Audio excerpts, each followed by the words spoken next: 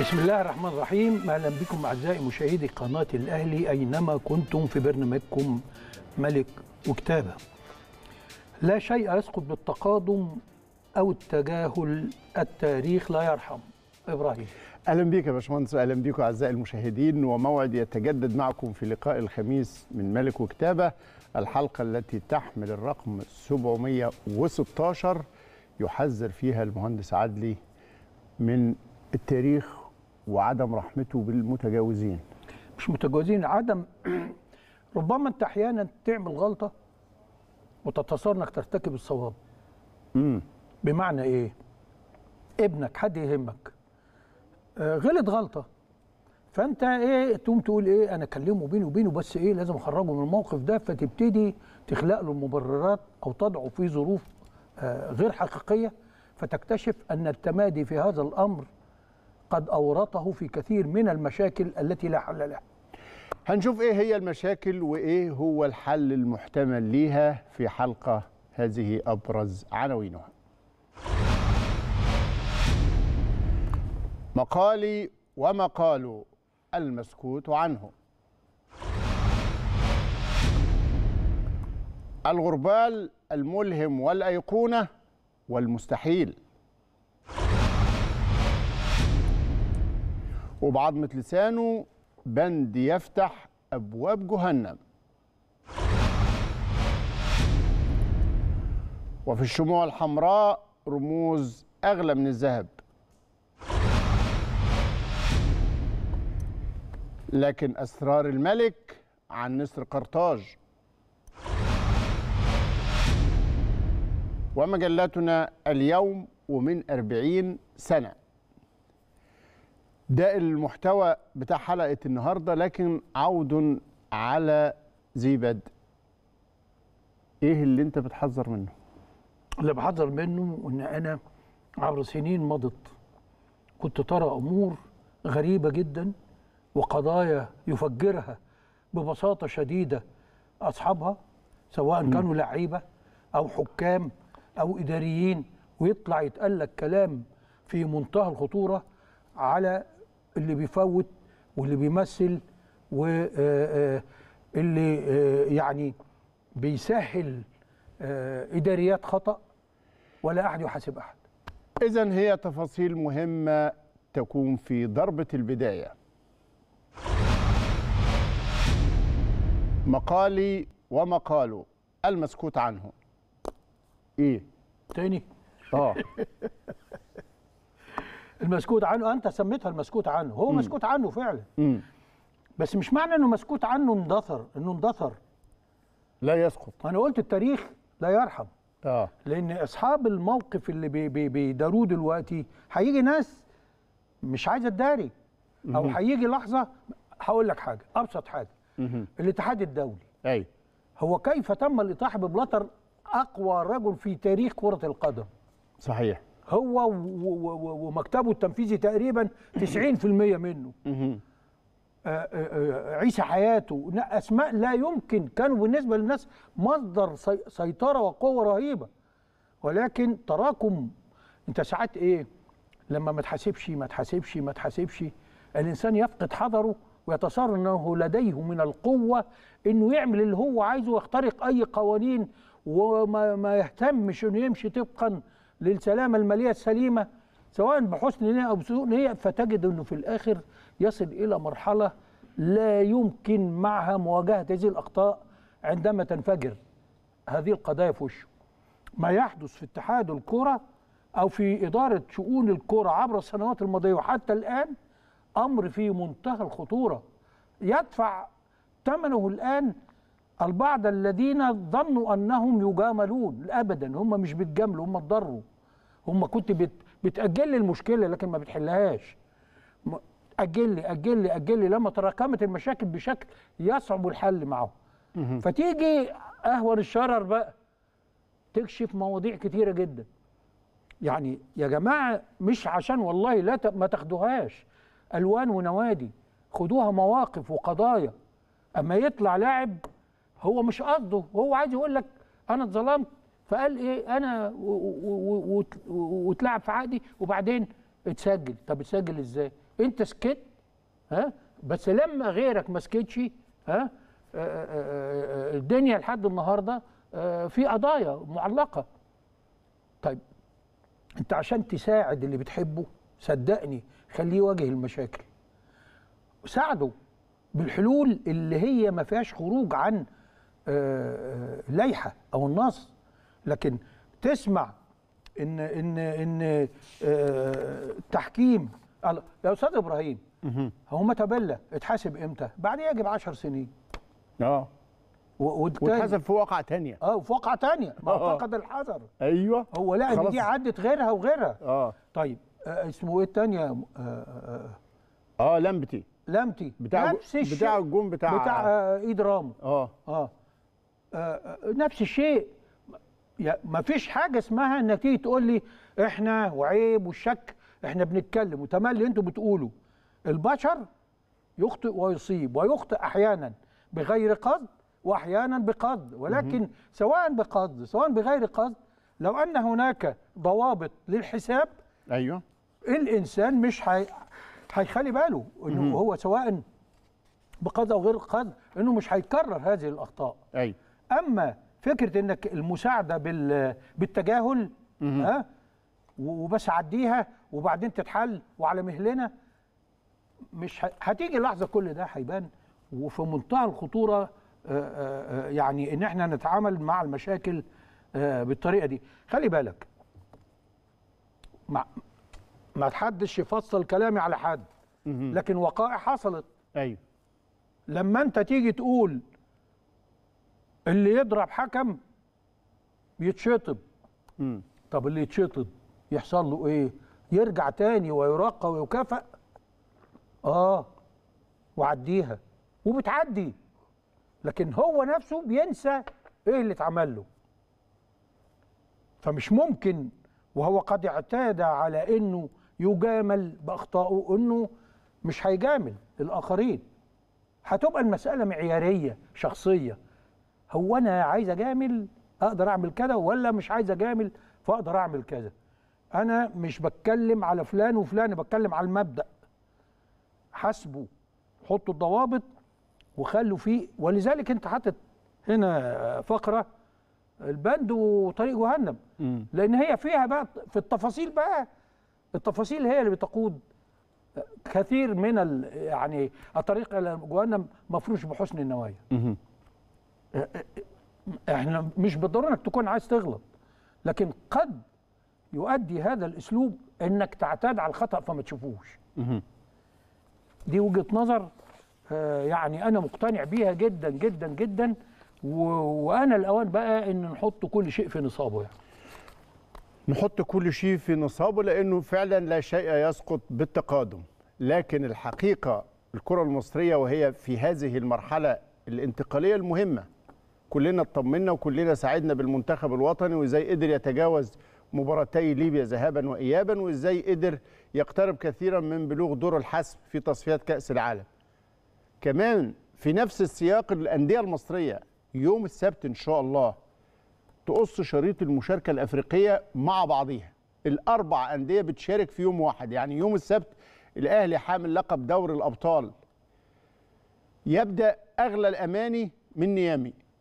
الأهلي بإذن الله تعالى يكون هذا الموسم القاري عنده الهدف المرصود لإنجاز لا يقوى عليه إلا الأهلي. الأهلي إذا كان جاب التاسعة وجاب العشرة فبإذن الله تعالى لو جاب الحداشر هيكون ده الإنجاز الأسطوري في تاريخ نادي القرن الإنجاز الأسطوري بمعنى الكلمة لأنه ما في فريق في القارة حقق لقب دوري الأبطال ثلاث مرات على التوالي. هيكون ده إنجاز ربما محتاج يتراجع على مستوى أندية ال- القارات ال- ال- ال- العالم كلها. مين قدر ياخد لقب دوري الأبطال ثلاث مرات على التوالي؟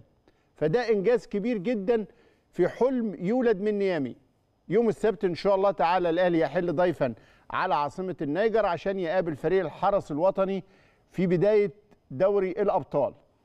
الفرق كلها المشاركة الحقيقة أشفق عليها. أيوه.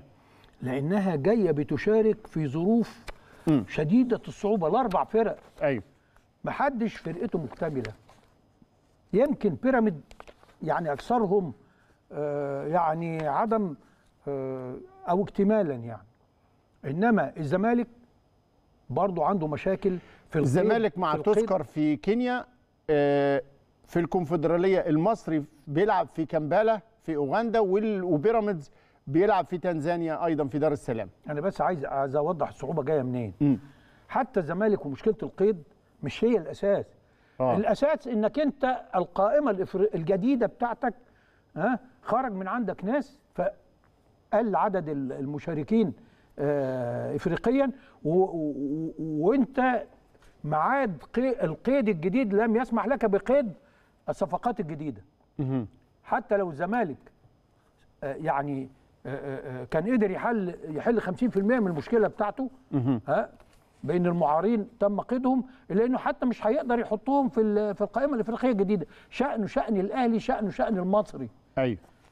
آه، أنا ما أعرفش ال- البيراميد جاب كام عنصر جديد الحقيقة ما ما لكن أنا شايف إن إن إن آه، أهلي زمالك مصري آه، وممكن يكون بيراميد. مش عايز يعني ما شفتش حجم ال ال يعني الإضافات والخروج كان بسيط شوية في آه، هنا الصعوبة.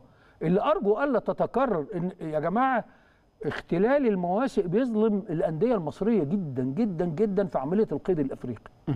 فكلهم داخلين أما تحط عليهم الإصابات أنا بشوف الناس اللي مت... التي تخلفوا عن ال- السفر لهذه الأسباب سواء إصابة أو القيد أو يعني غيابات كتيرة جدا في لا الاهلي ده ده ده فرقة رهيبة ممكن هي لوحدها تنافس على أفريقيا. أيوه.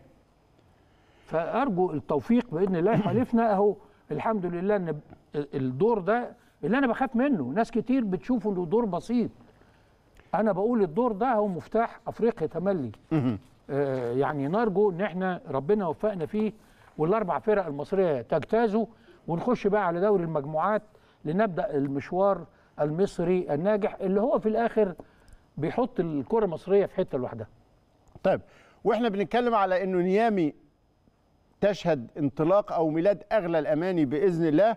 عايز أقول لكم حجم الغيابات. ما سافرش مع البعثة للإصابة محمد الشناوي ومحمود متولي وحسين الشحات ومحمود وحيد وصلاح محسن وحصوله على إجازة الجواز محمد مجدي قفشه الناشئ أحمد سيد غريب أيضا ما سافرش لأسباب فنية لكن لعدم القيد في أفريقيا بقى لا كريم فؤاد ولا حسام حسن ولا لويس ميكيسوني ولا بيرسي تاو ولا أحمد عبد القادر ولا عمار حمدي تمكن النادي من قيدهم بسبب فرقة. اختلال مواعيد القيد مع الاتحاد الأفريقي. فضاعت عليك فرصة الاستعانة بكل هذه الصفقات الجديدة تنتظر تسجلهم عشان يخشوا معاك دوري المجموعات إن شاء الله. طبعا في القائمه المسجلة حاليا شوفوا بقى يعني المصابين اللي أنا قلتهم لكم دول ما سافروش. كمان خرج من القائمه الأفريقية للإعارة والانتقال والتر بواليا سعد سمير أحمد بيكهام كريم ندفد ناصر ماهر مروان محسن وعلى قائمه الانتظار جونيور أجاييه. دول كمان الأهلي محروم منهم. عشان كده مستر بيتسو موسيماني يمكن أثير جدل كتير الفترة اللي فاتت حوالين تجديد عقده من عدمه رغم إن عقده مستمر لنهاية الموسم وده اللي طلع الكابتن أمير توفيق أكد عليه وقال مستر بيتسو موسيماني مستمر لنهاية عقده بنهاية الموسم اللي هيبدأ وبعد كده أي كلام عن تجديد العقد وتفاصيله ممكن يبقى في. مرحلة هو لاحقه ده الصح كان يعني. بالظبط. هو ده مش لعيب كورة خاصة يعني يعني النادي مقدم على انتخابات في 25 و26 نوفمبر فلا شيء قبل الانتخابات. بيتسو موسيماني رد لما الأهلي آه، على صفحاته الرسمية على ال social media معا نمضي في الطريق. راح رادد بيتسو موسيماني على طول معا نغزو أفريقيا بحثا عن اللقب الثالث على التوالي.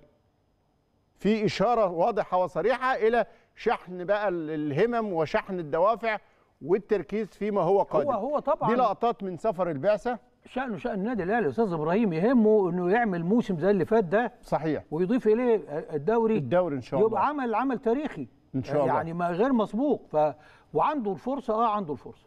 طيب. بإذن الله. عنده الفرصة وعنده 19 لاعب فقط سافر بيهم.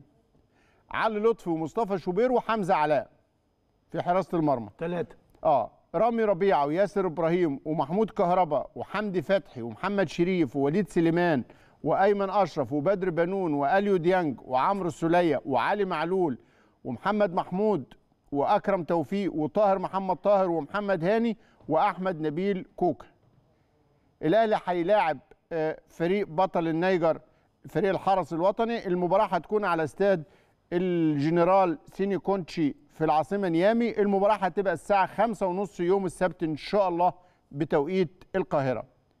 إذا خمسة ونص السبت الأهلي يحاول القبض على الحرس الوطني في نيامي. نتمنى إن أنا بقول لك آه، البداية اولا النيجر فريق ما أنتش عارف عنه معلومات كتير. أيوه. آه، الخطورة بتكمن هنا. آه، أنت ما بتبقاش في أحسن حالاتك لسه ما دخلتش على الموسم. أيوه. فريقك أهو زي ما أنت شايف مش مكتمل. أيوه. آه، طبعا اللي موجود بإذن الله أداه ودود. أيوه. بشرط إن بإذن الله كلنا نكون في حالة جيدة وهيبان بقى مدى إدراكنا بخطورة أو بأهمية الموقف من خلال التزامنا في الأداء.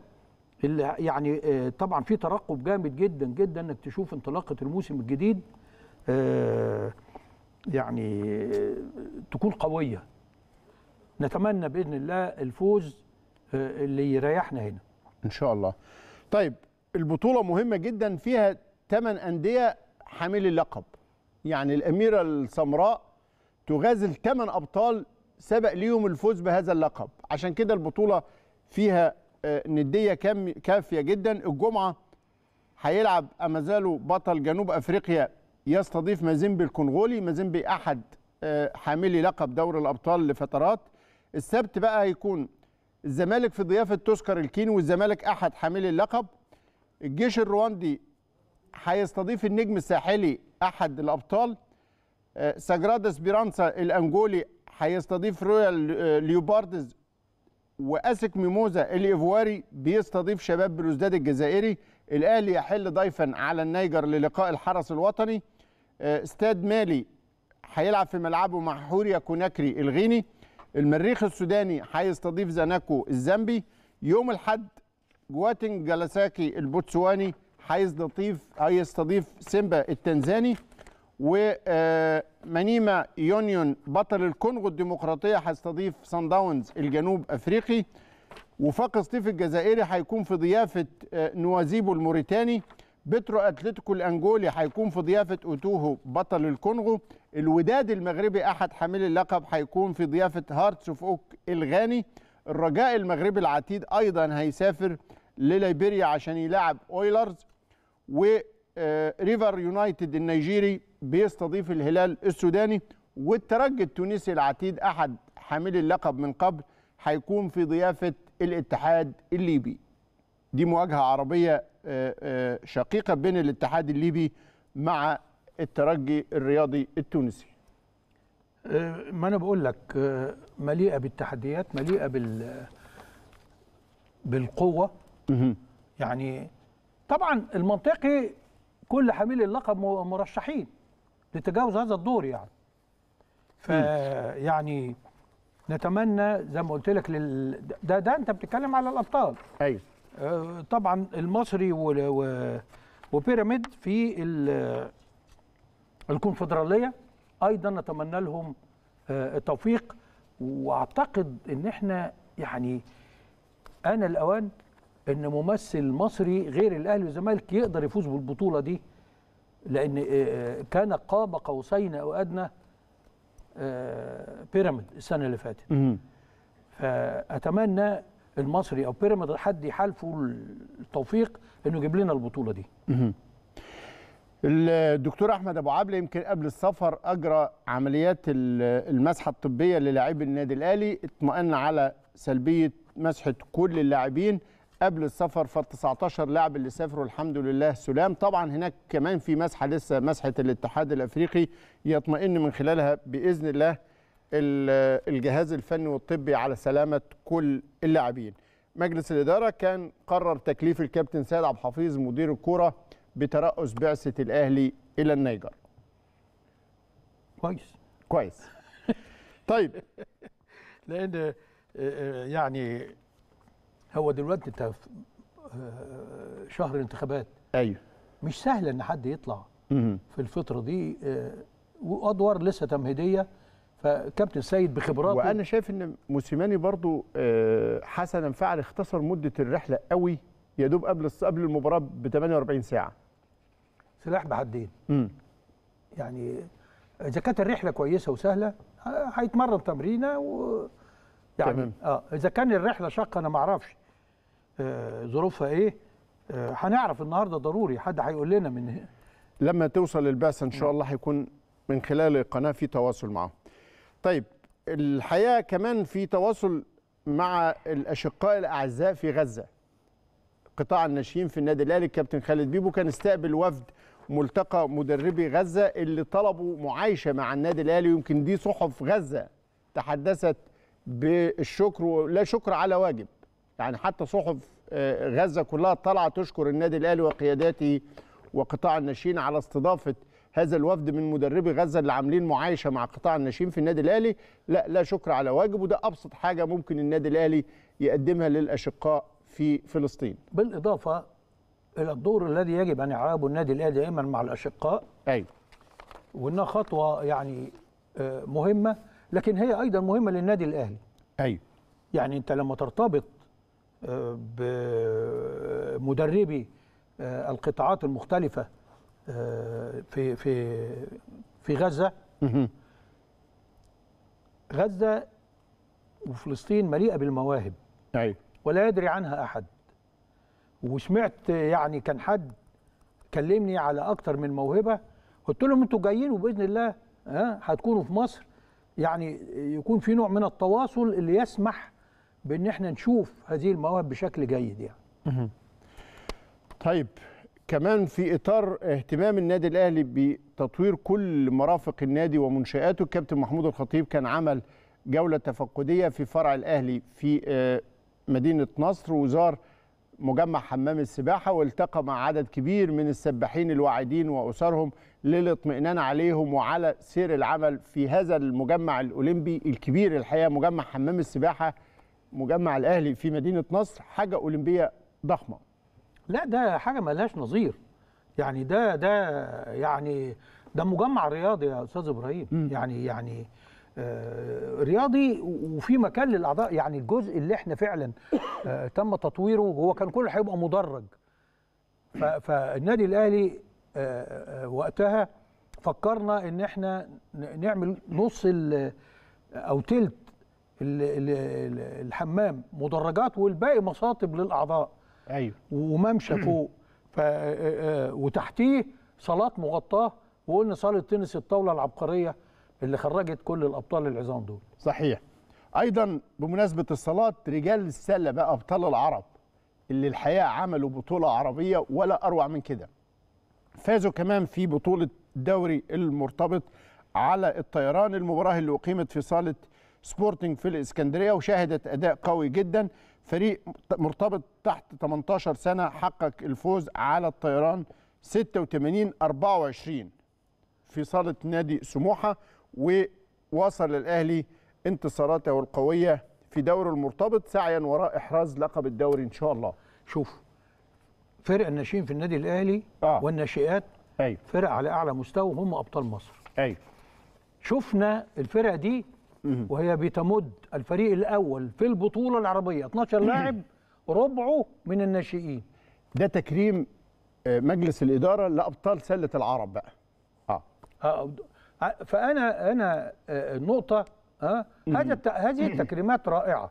أيوة. أنت كرمت قبل كده الكورة على النجمه العشرة مم. ها وفريق الكورة.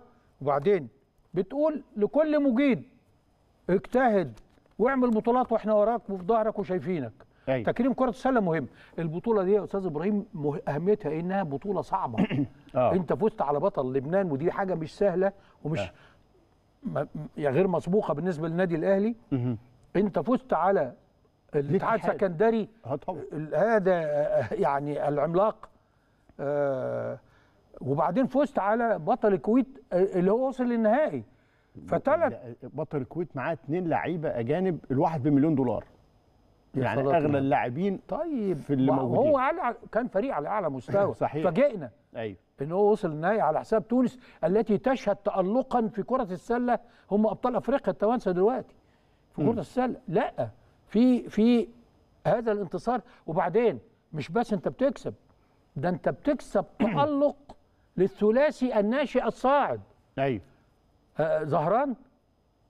آه. آه عمرو علاء زهران ما ده ابن آه، ابن الكابتن علاء كان زهران. حاجة جامدة جدا في كرة السلة. آه. بس أنا شايفه كده هيتفوق على أبوه بإذن الله. والده وهيكون طبعا أسعد و- انتقل لسلك القضاء الرياضه أسعد. واحد هيكون الكابتن علاء زنهار آه، زهران. آه.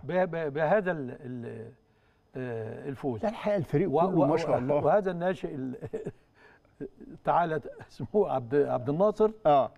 إحنا جبناه من سنه من سنتين من عبد الله ناصر آه. عبد الله ناصر. آه. عبد الله الناصر ده جبناه أغلى ناشئ ممكن يجي يعني يعني بس الناس وقتها عشان كرة اليد خدت قداح كان آه، إحنا جبنا آه، عبد الله ناصر بنفس المبلغ 3 مليون.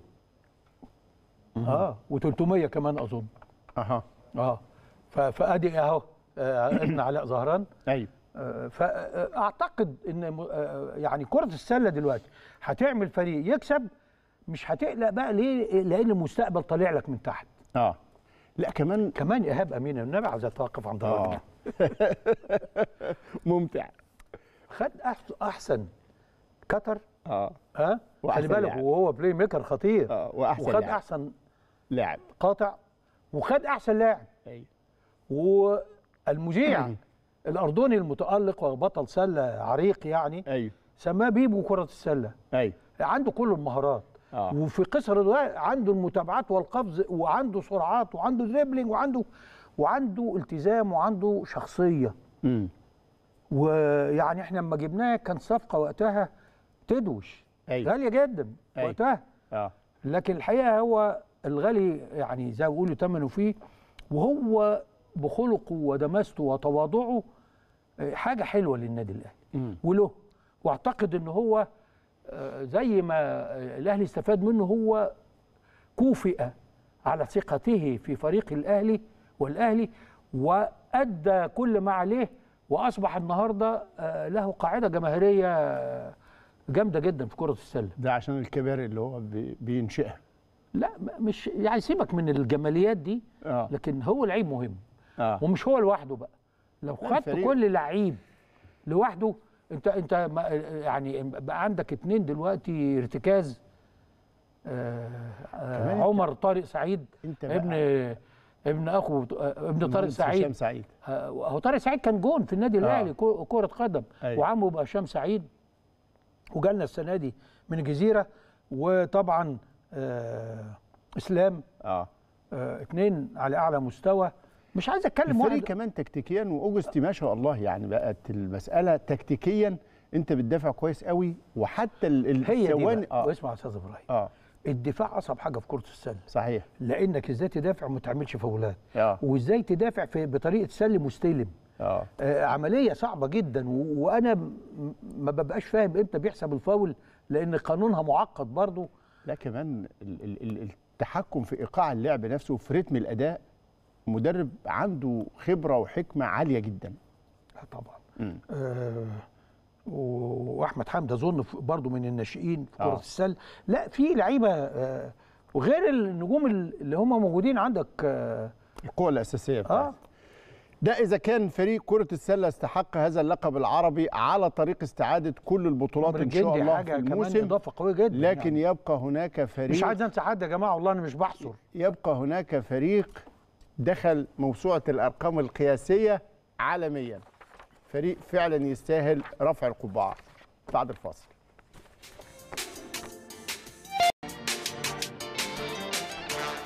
وما تخافش على الأهلي طالما الأهلي عنده هذا الحرص الشديد على الوفاء بالتزاماته ومد المنتخبات الوطنية بأفضل العناصر في كل الظروف. كل مرحلة هتلاقوا دايما وابدا الأهلي عنده هذا الحرص إنه يكون الأكثر تمثيلا في المنتخبات الوطنية بل دعم اللعيبة الدوليين. وقلت لكم الأهلي ربما كان من الفرق أو من الأندية القليلة جدا اللي بتدي مكافأة للاعيبتها نظير المشاركة مع المنتخبات. عشان كده دايما وابدا عند الأهلي هذا الدور الوطني المهم في خدمة المنتخبات الوطنية. بمناسبة المنتخبات الوطنية منتخب مصر وضع قدم تقريبا في دور الحسم. يعني عندنا مباراتين مباراة مع أنجولا في القاهرة أو مع ال- ال- الجابون في القاهرة وأنجولا بره المباراتين في 11 و14 نوفمبر تقريبا. الفوز بيهم بإذن الله يحسم المسألة أو الفوز بمباراة واحدة منهم يحسم دخول دور الحسم طب وبعدين؟ إيه اللي يجرى؟ مم. إحنا حتى الآن عشان تبقى المسألة واضحة ما زلنا في التصنيف الثاني ما زلنا في المستوى الثاني بمعنى أفريقيا متقسمة 10 مجموعات. في التصفيات. العشر مجموعات كل مجموعة أربعة هيصعد أول كل مجموعة. العشرة اللي هيصعدوا هيتقسموا نصين ألف وب حسب التصنيف بتاع الاتحاد الدولي. في خمس خمس دول لغاية دلوقتي ما زالوا في التصنيف الألف إحنا في التصنيف الثاني يبقى أنت هتلاعب. لو الأمور مشيت على ما هي عليه القرعة هتخليك تلتقي مع يا السنغال هم بالترتيب. السنغال تونس الجزائر المغرب نيجيريا. دول الخمس بس دول لحظة واحدة. آه. هم دلوقتي موقفهم إيه في الم... ال- كلهم؟ كل المنتخبات الخمسة أقرب للصعود. نيجيريا بس اللي كسبت ماتش وخسرت ماتش. فاللي من هي مين يا إبراهيم؟ من أفريقيا الوسطى. ده خسرت بم- بمفاجأة غريبة. من أفريقيا الوسطى في ليجوس في ملعبها. وكسبت بره. فهي نيجيريا الأقرب اللي ممكن تقع من التصنيف الأول. فندخل إحنا مكانها أو- لو فضلنا ماشيين أو- بشكل كويس. أو. آه. ما تتأهلش. ولا ما أو ما تتأهلش بس هي ما تتأهلش دي صعبة قوي. لأنه المنتخبات اللي معاها هي متصدرة لكن أنا بكلمك على نتائج في المجموعة. وبالتالي الاتحاد الدولي المفروض هيعلن التصنيف الجديد يوم 21 10 إحنا الأمل فين؟ عندنا فرصة نقدر نقتحم التصنيف الألف. إمتى؟ في كأس الأمم. كأس الأمم هيكون في يناير في الكاميرون. بإذن الله تعالى منتخبنا وقد تأهل لكأس الأمم نتائجه في كأس الأمم ممكن ترفع رصيده ونقاطه يقدر يدخل هذا المستوى الأول اللي المفروض دور الحسم بتصفيات كأس العالم هيبقى في شهر مارس. يعني هتلعب يناير كله 10 يناير تقريبا كأس الأمم الأفريقية في الكاميرون. في خلال شهر ممكن تنتهي من أو 6 يناير. في خلال هذا الشهر تكون عملت نتائج كويسة في كأس الأمم وتكون كملت كمان في تصفيات كأس العالم الماتشين اللي باقيين مع أنجولا والجابون. تاخد نقاط كويسة. الأمل إن أنت لما تيجي في شهر مارس تتعمل القرعة بتاعة الدور الأخير بقى في تصفيات كأس العالم تخش في يكون الخمسة. دخلت ضمن الخمسة وده هيديك فرصة نسبيا شوية أفضل لأنك هتلاعب إحدى دول المستوى الثاني شيء سيبك من المستوى الأول المستوى الثاني آه. أنا أخطر فرق ألعبها اللي شبهي. العرب. اللي هو شمال أفريقيا. آه. والثلاثه التقال موجودين. جزائر هم وتونس دول. والمغرب. لكن أنا حتى لو لعبت غانا لو لعبت نيجيريا لو يعني الكرة مختلفة مهما كانت المهارات الفردية. لكن الفكر بتاع المغرب الجزائر تونس بيبقى فكر يعني بنفكر زي بعض. أيوه. واخد بالك؟ آه فاهمين بعض حتى في الإعداد النفسي حتى في الشحن حتى في الجماهيرية حتى آه. وبعدين فاهمين لغة بعض متأثرين بكل كلمة بتتكتب. فلو بعدنا عن الثلاث فرق دول حتى أنت تصنيف أول تصنيف تاني أنت لو تصنيف أول هتبعد عنهم. آه. هو ده اللي يريحك. يريحك من ناحية ناحية الحساسيات من الآخر كده. عايز أقول لك إن حتى غانا اللي هي يعني مبدئيا المغرب والسنغال خلاص ضمنوا الدخول دور الحسم في كأس العالم. لكن غانا ما انت غانا كسبتك 6-1 يعني حتى مع برادلي والمنتخب فضل ماشي. كويس. لا لا وغلبتها هنا. ما آه. أصل 6 1 ده منطقي آه. انت انت مع برادلي الماتش الوحيد اللي خسرته طول التصفيات. آه. انت رايح لهم بالعلامة الكاملة. امم أنا 6 1 ده ماتش آه، يعني عارف الأفلام ساوني حاجة أصفرة. واخد بالك؟ عشان عارف ليه رايحين بشكل مهرجاني. امم الوزير ورئيس الاتحاد والضيوف نفس العباره الزهراء يوم تونس. أيوه. نفس ال- ال- 78 الناس بتروح تحتفل قبل الماتش. آه. انت انت غانا وهي كسباك 6 1 هنا انت تقدمت عليها 2 0 وبعدين جابوا جول. أيوه. يعني انت برضو كسبوك ماتش يعني انت لو كنت خسرت هناك 2 1 وهنا 2 1 كنت هتلعب ضربات جزاء. لكن هو كان دور إقصائي. لو كان في المجاميع برضو كنت هتبقى معديها مش منطقي. فالأمور دي المش منطقية إن أنا أفوز ستة أو أخسر ستة دي نتائج لا يعول عليها. أنا كل اللي يهمني إن أنا أبعد عن شمال أفريقيا. الباقي حتى من الناحية المعنوية بنقدر نتعامل معاه.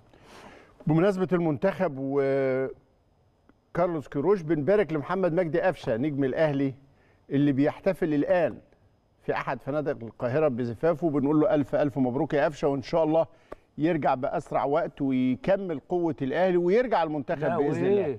شياكة. آه. جاكيتة بيضة بعدين جاكيتة سودة بعدين واحدة بسديري وواحدة بالبورنوس واحدة بالقضية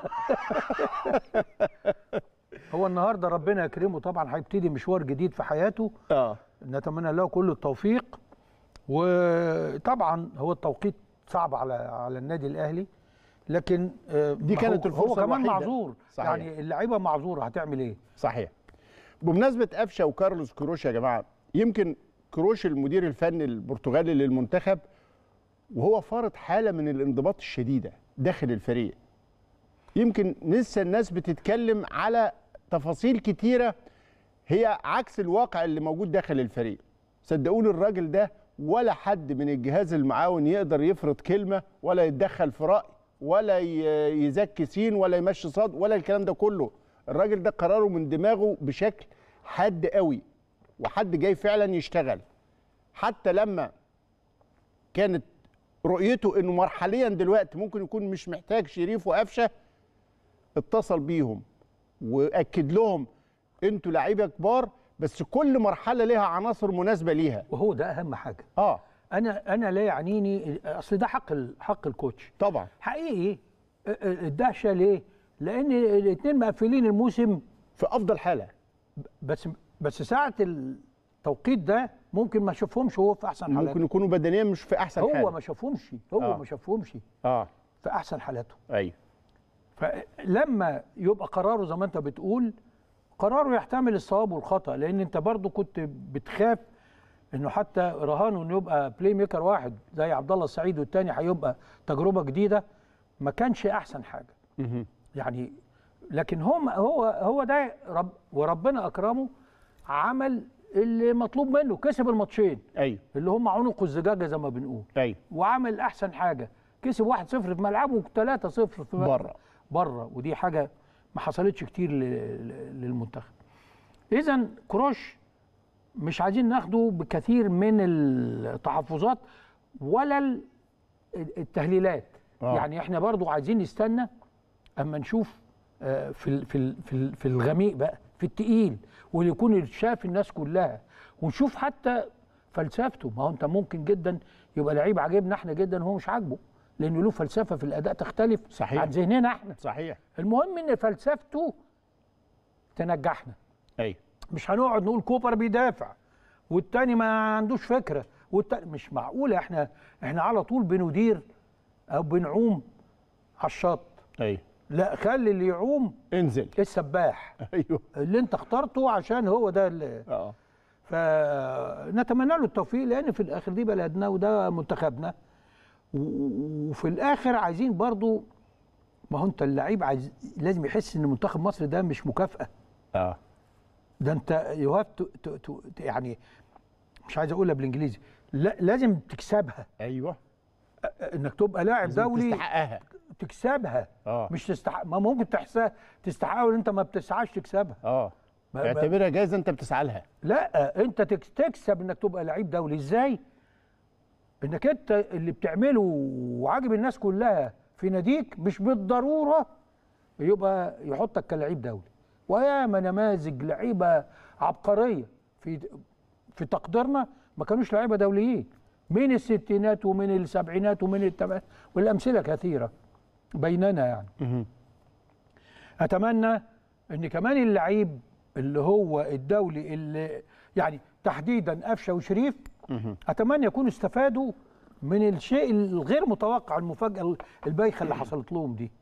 واحد استفاد إنه اتجوز. لكن لازم يستفيد من الناحية الفنية.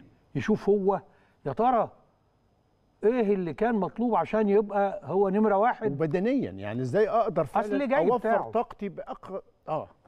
مش بس بدني. مم. أسلوب أنا- كل حاجة. مم. إذا كان أسلوب إذا كان بدني إذا كان في نواقص إذا كان آه في التزام. ما أنت ممكن ممكن تحس إنك أنت ال- النجم بقى اللي بيكسب الفرقة تبتدي تلعب فردي. آه. وده وانت مش لعيب فردي آه. انت يعني انت انت معودنا انك تبقى لاعب جماعي آه، في حاجات كتير يا أستاذ إبراهيم الإنسان اللي عايز آه، يكون صادق مع نفسه وحاسب نفسه وحتى بقية اللعيبة يعني لما تبص حتى تغييراته ما عادش في لعيب يتغير تلاقيه ضارب بوز أو يلعبه آخر ثانية عامل لك. مشكلة طرف. أو يغ- يتدخل في شرط الكابتن ويقول لك صلاح ضامن إن الكابتن هو ده مكانه وحد يزمزق لا بيفرض قراراته وأفكاره بوضوح. يعني بص إحنا اتخضينا. آه. من عمر مرموش. آه. اتخضينا. آه. بس هو أدى أداء ما بقولش إنه أدى الأداء يعني إنه بقى نجم المنتخب. لكن عبر عن نفسه. لكن عبر. يتقال له لا. آه بالظبط. آه كويس إنه جه والراجل جاب جون وكان نشط وكان صحيح. آه عنده حيوية. آه. حقيقي اللعيب الدولي اللي من عينة كابتن رمضان صبحي لا. ما زال الفارق موجود. لكن هو عايز يمكن كان عايز يحفز رمضان بمرموش. في أفكار عند المدربين. لازم نحترمها. وكان يمكن في اجتماعه مع الجهاز المعاون له سئل وهم بيدردشوا مع بعض مين الأفضل في المباراتين؟ نشوف الكابتن كريم حسن شحاتة وهو بينقل عن كارلوس كيروش اختياره.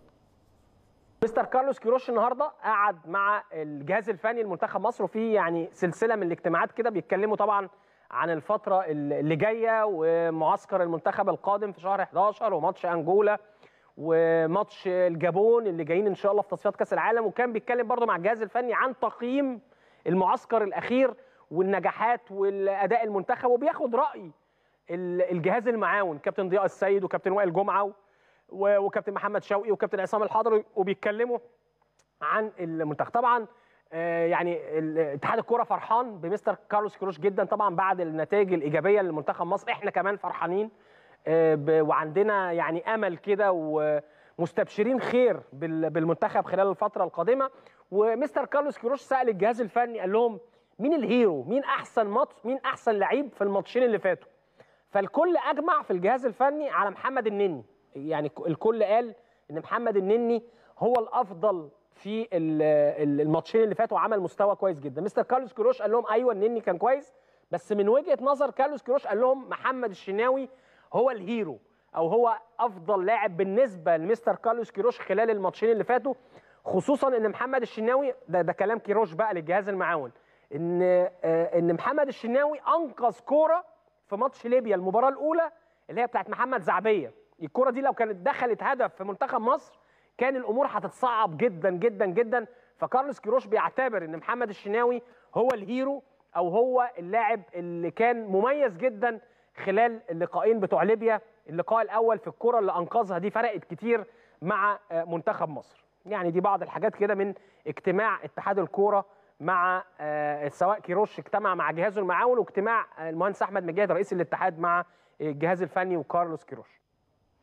الكلام اللي بيقوله كابتن كريم ده له معنى. اولا الاختيارين مفاجأة بالنسبة لنا. نني والشناوي لما يتقال النني اذا المعيار الذي يختار به المدربين من الناحية الفنية ليس المعيار اللي بيشوفه الجماهير آه.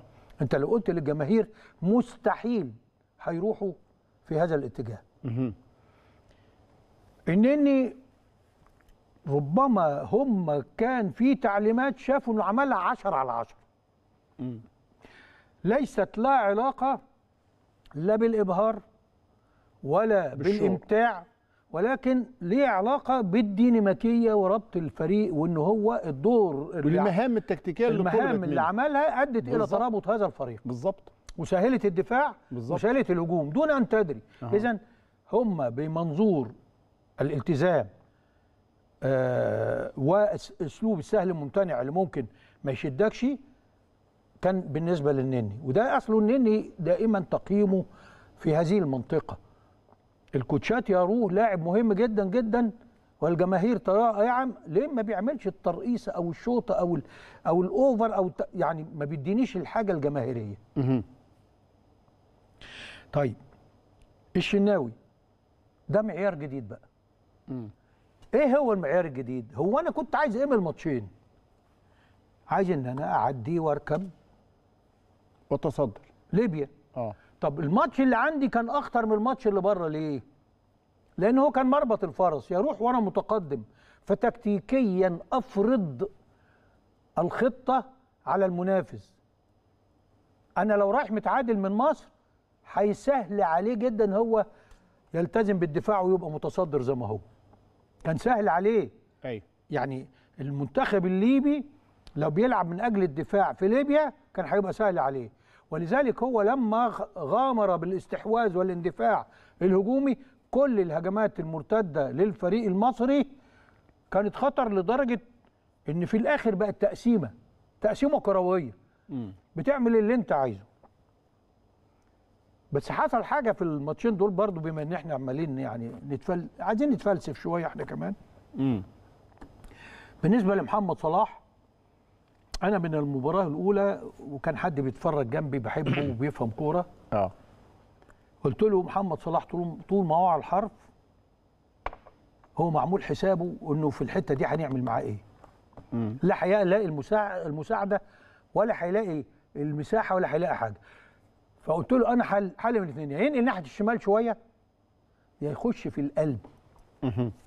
كل الفترات في مباراة ليبيا الثانية تحديدا اللي دخل في القلب شكل خطورة جامدة جدا. يا انفرادات يا حاجات آه، آه، من بتاعة محمد صلاح يا ال- ال- ال- ال- ال- المسانده اللي عملها لكابتن رمضان صبحي وخلاه جاب الجول. السهل جدا. الباصة البسيطة الحنينة اللي حطته في الانفراد اللي جاب منه الجون الثالث فدي حاجات آه، طبعا تعليمات فنية يا أستاذ إبراهيم.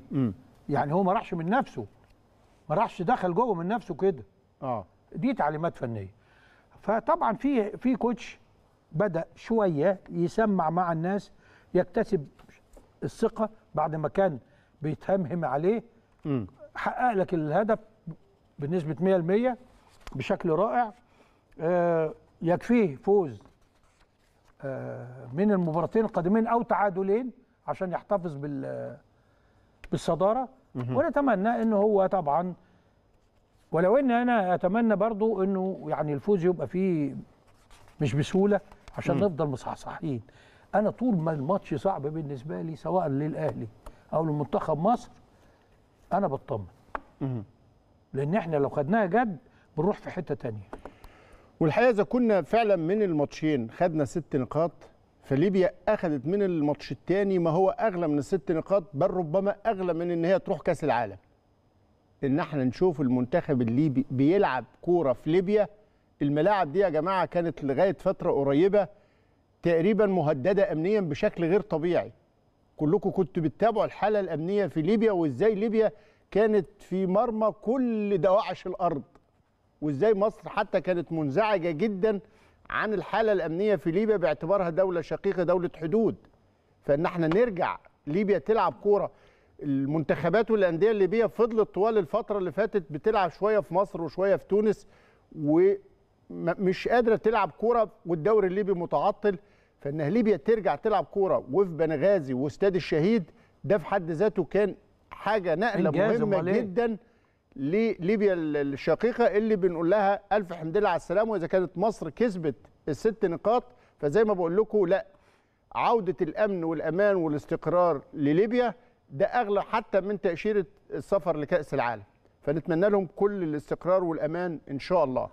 ده كان كلام مهم جدا عن المنتخب وعن كارلوس كيروش وعن رؤيته وتقديره لمحمد الشناوي اللي اصيب وبيحتاج يمكن أربع أسابيع من العلاج. بنتمنى له كل الشفاء إن شاء الله. ده كان كلام مهم لكن هناك كلام أهم في الغربال الملهم والأيقونة والمستحيل. عارفين المستحيلات الثلاثه الغول والعنقاء والخل الوفي تملي يقول لك ده رابع المستحيلات. طب هم الثلاثه إيه؟ الغول والعنقاء والخل الوفي النادي الأهلي جمهوره اعتاد إنه المستحيل مش أهلاوي. وقد كده الأهلي تحول بهذه القيمة الرياضية إلى نموذج ملهم. حتى انه كل من يرتبط بيه يقدر فعلا يثبت إنه المستحيل مش أهلاوي. بيج رامي أو رامي السبيعي بطل العالم في كمال الأجسام كان نموذج فعلا استفاد من تجربة الأهلي كملهم إلى الدرجة اللي بعد تتويج آه، بيج رامي بمستر أولمبيا يكتب عنه مين؟ الأستاذ فاروق جويدة الشاعر الكبير. لما يندهش وينبهر من عضلات بيج رامي فيكتب مقالته في الأهرام بيقول بيج رامي بطل من كفر الشيخ. وبيقول للأستاذ فاروق جويدة يا باشمهندس كم من كم من الممكن أن يبقى مع اخوته في كفر الشيخ؟ يصطادون السمك في بحيرة البرولس ويكملون المشوار في هذا العالم بعيدا عن الأضواء لكنه رفض التهميش وأصر أن يأخذ مكانا ليس في مصر وحدها ولكنه انطلق إلى آفاق أخرى وسافر إلى أمريكا في أكبر مسابقة في كمال الأجسام ليحقق لمصر نصرا عالميا ويعود حاملا للقب بطل العالم في كمال الأجسام. إنه رامي السبيعي بطل العالم في كمال الأجسام الذي عاش في إحدى قرى كفر الشيخ يمثل نموذجا لشاب مصري تجاوز بحلمه كل الحدود. أنا لا أفهم ده الأستاذ فاروق جويدة أنا لا أفهم كثيرا في عالم الرياضة رغم أني أشجع عالم الأحلام. ونحن أمام شاب صنع حلما كبيرا أن يكون رمزا وبطلا في لعبة تتطلب أن يكون الإنسان قاسيا على نفسه إلى أبعد الحدود. هو دي. آه. يعني الناس تقول لك إيه كمال أجسام ما بيعمل عضلات و... لا. كمية التحدي اللي بياخدها الإنسان مع نفسه يعني آه، آه، البطل في كمال الأجسام هو بطل بيتحدى مين؟ بيتحدى نفسه بيتحدى آه، رغباته بيتحدى عاداته. إذا كان عايز ينام إذا كان عايز ياكل على راحته إذا كان عايز يسهر إذا كان آه، آه، بيحط معايير يفضل آه، آه، لازم يسبقها. فحياة لا يعيشها أي بطل آخر. يعني يعني هو في الترفيه أعتقد إنه أقل الرياضيين حظا في اختيار حرية الترفيه. بيقول كمان الأستاذ فاروق جويدة كان يمكن أن يبقى في قريته يصطاد السمك ويزرع الأرض. بصوا عضلات بيج رامي. لا ما يعني- يعني إحنا يعني- عايزين صورة له. آه. صورة مش آه، جرافيك يقول كان يمكن أن يبقى في قريته يصطاد السمك ويزرع الأرض ويتزوج مثل كل المصريين لكنه رفض هذا الواقع وتمرد عليه. أهي. إن هذا- السر وراء هذا النجاح أننا أمام حلم كبير صنعه إنسان كبير. لا أخفي إعجابي بحلم هذا الإنسان. يا جماعة اللي بيتكلم شاعر يعني كبير إنت اللي أستاذ شايفينه ده. على- اللي شايفينه ده يا أستاذ إبراهيم آه. مش احد مش أحد تماثيل الإغريق ولا بالظبط. ما أنا عمال أقول لك آه شوف. إنما ده بني آدم. صحيح. واقف قدامك بعضلاته يلتحف بعلم مصر. ليه إحنا بنتكلم عنه؟ أستاذ فاروق جويدة بيقول لك إن تشجيع هذا النموذج المشرف مسؤولية وطنية على الدولة. وأطالب وزير الرياضة الدكتور أشرف صبحي بتشجيع مثل هذه المواهب. إن الرياضة ليست فقط كرة قدم وليست لاعبا يحرز هدفا ولكن هناك بطولات فردية يجب أن نشجعها. كل ال- الزوايا أهو. كما أن واجب رجال الأعمال أن يتبنوا هذه المواهب لأنها أفضل أنواع الاستثمار إنها بناء البشر. إن سوق الأحلام كما يقول الأستاذ فاروق جويدة إن سوق الأحلام من أكثر أسواق الحياة نجاحا. والشعوب الواعية والشعوب الواعية ترى في البشر أفضل وأغنى أنواع الاستثمار. وتجربة السبيعي ابن البرولس البسيط درس للشباب انه أنه لا شيء مستحيل حتى لو كان الحلم في أمريكا. يجب أن نحتفل بهذا الإنسان البسيط الذي حمل لمصر لقبا وانجازا نعتز به جميعا من حق السبيعي أن يكرم في وطنه. شوف آه طبعا حقه يكرم جدا. يكرم كرمز لل للسيطرة على الذات والعدو في اتجاه الحلم. العدو مش إنك يعني وبعدين على فكرة عشان يوصل لكده ده ده سنين. أيوه. سنين من الصبر والعمل المنظم العلمي جدا لأن كل على فكرة ممكن جدا لو بتشوف مجلات ال- كمال الأجسام هتجد ناس أحجامها العضلية ربما أضخم.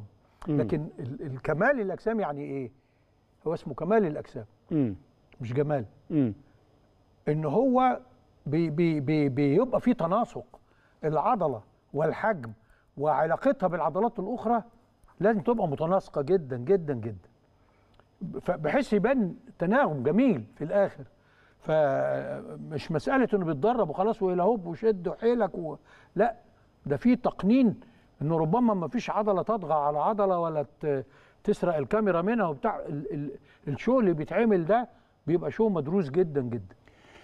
آه، بيج رامي هيرجع القاهرة من أمريكا إن شاء الله يوم الأحد. لكن هو من فترة كان ضيف هنا في قناة الأهلي مع الزميل هيثم السعيد. سألوا الكابتن هيثم عن إيه رأيك في النادي الأهلي؟ إيه علاقتك بالنادي الأهلي؟ إيه مدى تأثرك بالنادي الأهلي؟ بيج رامي وقتها قال كلام مهم جدا عن قيمة الأهلي النموذج الملهم. عشان تعرفوا حتى زي ما الأستاذ فاروق جويدة بيقول كل الأحلام أنشط الأسواق سوق الأحلام وأقوى الاستثمار الاستثمار في البشر وأعلى النماذج الهاما هو نموذج النادي الأهلي. ده مش كلامي ده كلام بجرامي. طب قول لي انت كنت بتحب كرة القدم؟ جدا. آه. آه. وعشقك هو النادي الأهلي. آه طبعا يعني زي مصر كلها يعني إلا القليل. يعني عشقك النادي الأهلي. وطب ليه ما رحتش ناحيه كرة القدم؟ خاصة إن برضو كرة القدم ما كانش محتاجة إمكانيات. خلي بالك آه. برضو أنت في أي مكان ممكن تعمل تقسيمة وتلعب. آه دي حقيقة. ليه ما رحتش ناحيه كرة القدم؟ إحنا كمان يعني لو في في القرى بما إن المساحات متوفرة وده صحيح.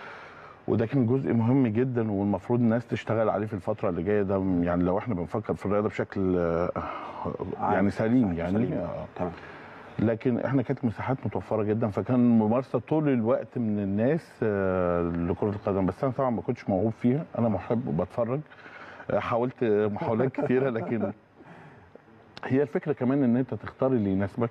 ودي كمان من الحاجات المهمة جدا حتى دور يكون دور أسري وكمان قناعاتك الشخصية تحط نفسك في المكان الصح أو توظف نفسك علشان ما تهدرش وقت كتير من حياتك صحيح فأنا كنت شايف إن كمال الأجسام هي الأنسب ليا كجيناتكس لأن أنا برؤية عامة شايف إن ده يناسب جسمك. آه، جسمي آه. آه يعني جينات جسم أما كان آه، كرة القدم بتحتاج موهبة يعني آه، آه. آه، على نعم. قدر من الموهبة لازم يكون عندك قدر من الموهبة طب قول لي آه، آه، آه، أنت ليك يعني طقوس معينة في ماتشات الأهلي آه لما يبقى في ماتش أهلي النهارده بتعمل إيه؟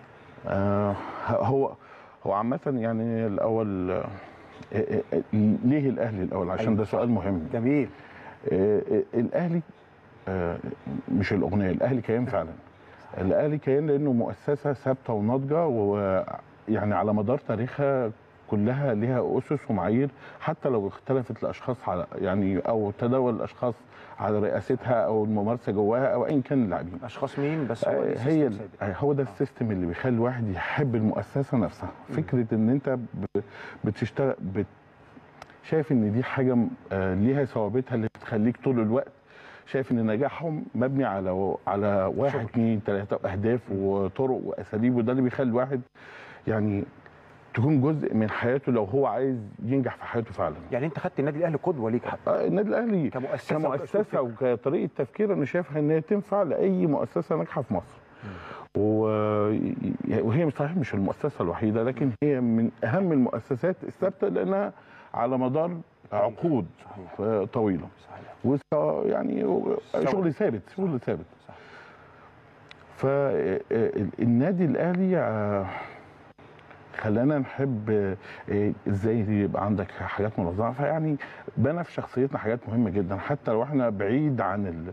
أصل المشجع ممكن يرسم صورة في خياله حقيقة أو غير حقيقة لكن هي كانت بتطابق الواقع بشكل كبير جدا يعني. صح. فالاهلي كان يعني آه، بالنسبة لنا كمشجعين آه، درجة ثالثه زي ما بيقولوا. جزء كبير جدا من حياتنا. يعني بص كلامك وانت أسطورة كبيرة وحققت نجاح كبير وبتتكلم عن النادي الأهلي اللي انت عمرك في يوم من الأيام ما لبست تيشيرت. خالص خالص. يعني النادي الأهلي ما عندوش كمال أجسام. أها. وبتتكلم بهذا الحب وبهذا ال- الفخر للنادي بتاعك وبتقول في الأول لا قبل ما تسألني إيه البروتوكولات بتاعتي ليه الأهلي. فالحقيقة لما بنلاقي حد كده الحقيقة فعلا بتلاقي شخصيتك انطبقت مع شخصية النادي الأهلي. أنت في حياتك كده هتلاقيك يعني كل- تمرينك آه. آه. أكلك شربك. أسلوب أسلوب حياة أسلوب حياة. اصل اصل النجاح قصته واحدة في كل مكان. إن أنت تاخد قصة ناجحة وتحقق وتحقق بيها خطواتك ده مهم جدا. صحيح. عشان كده الواحد لازم يشوف رموز ناجحة يبقى الناس تمتثل ليها وتحط نفسها في اللاين بتاعها عشان تقدر تحقق نجاحها. بداية وأنا ب يعني بحتفي بكل ما قاله وهنشرحه دلوقتي بيجي رامي لازم أهني الزميل الكابتن هيثم. هيثم سعيد الحقيقة هو راجل رياضي فاهم ويجيد الحوار ويسمح بالمساحة إن نخرج بكلام شديد النضج. أنت بتشوف ذهنية هذا اللاعب وهو يتحدث عن أسباب النجاح مش بيتكلم بقلبه ده بيتكلم بعقله. هو حب النادي الأهلي بعقله إلى درجة استحوذ على قلبه. يعني بيقول لك إيه؟ النادي الأهلي مؤسسة. اذا العمل المؤسسي ملتزمة. اذا الالتزام. ليها منهج وثوابت. اذا المنهج. محدش بيغير حاجة. كل الناس بتعملها. اذا المصداقية والتواصل وصرامة التمسك بأسباب النجاح. وبعدين أنت بقى آه، كمشجع تاخد الكلام ده تستلهم منه خطط ليك. فيكلم يقول لك حتى حتى ال- التعبير يقول لك أنا لقيت نفسي مش لعيب كورة أنا أنا يعني جيناتك يعني وراثيا أو الصفات الوراثية بتاعتي تقودني إلى لعب كمال أجسام تناسبني أكتر. وطبعا الحمد لله إنه راح كمال أجسام عشان يجيب لنا بطولة العالم وأكتر من كده تخيلوا هذا الرجل لو كان لعب مثلا third back. كان دغدغ له كام forward عايز تسلط على مين؟ يعني إنما أنا أنا سعيد إن بسمع التحليل التحليل اللي هو مش بقى بيحب الاهلي لأنه الحياة والكون. آه هو الحياة والكون. لكن بحبه؟ لأسباب علمية أيوه. تديني أنا وغيري أسباب في الحياة تخلينا ننجح. لأن أسباب النجاح واحدة في كل حتة. صحيح. هذا المنهج وهذا الالتزام وهذا النموذج بيخليك وانت راجل مسؤول تعرف انك انت آه بتحب الأهلي بمسؤولية انك تسيبه كده. حبوه زي ما لقيتوه. دي كلمتي المست... المستمر. اوعوا تغيروا في حاجة ولا تحاولوا تغيروا في حاجة. ف آه. ده قيمة الإلهام يا جماعة. قيمة الإلهام لأنه إحنا دايما بنقول الأهلي فكرة. وفكرة لأن هي بتحوي كل الأسباب اللي تخليها تعيش حية نابضة لأكثر من 114 سنة. وعنده هذا الدور وهذا النجاح. اللي قاله آه، بيج رامي إنه الأهلي علمه إزاي يبقى له هدف إزاي يقاتل علشان يحقق هدفه إزاي يبقى منضبط في الوصول لهدفه إزاي يتمسك بحقه إنه ينجح.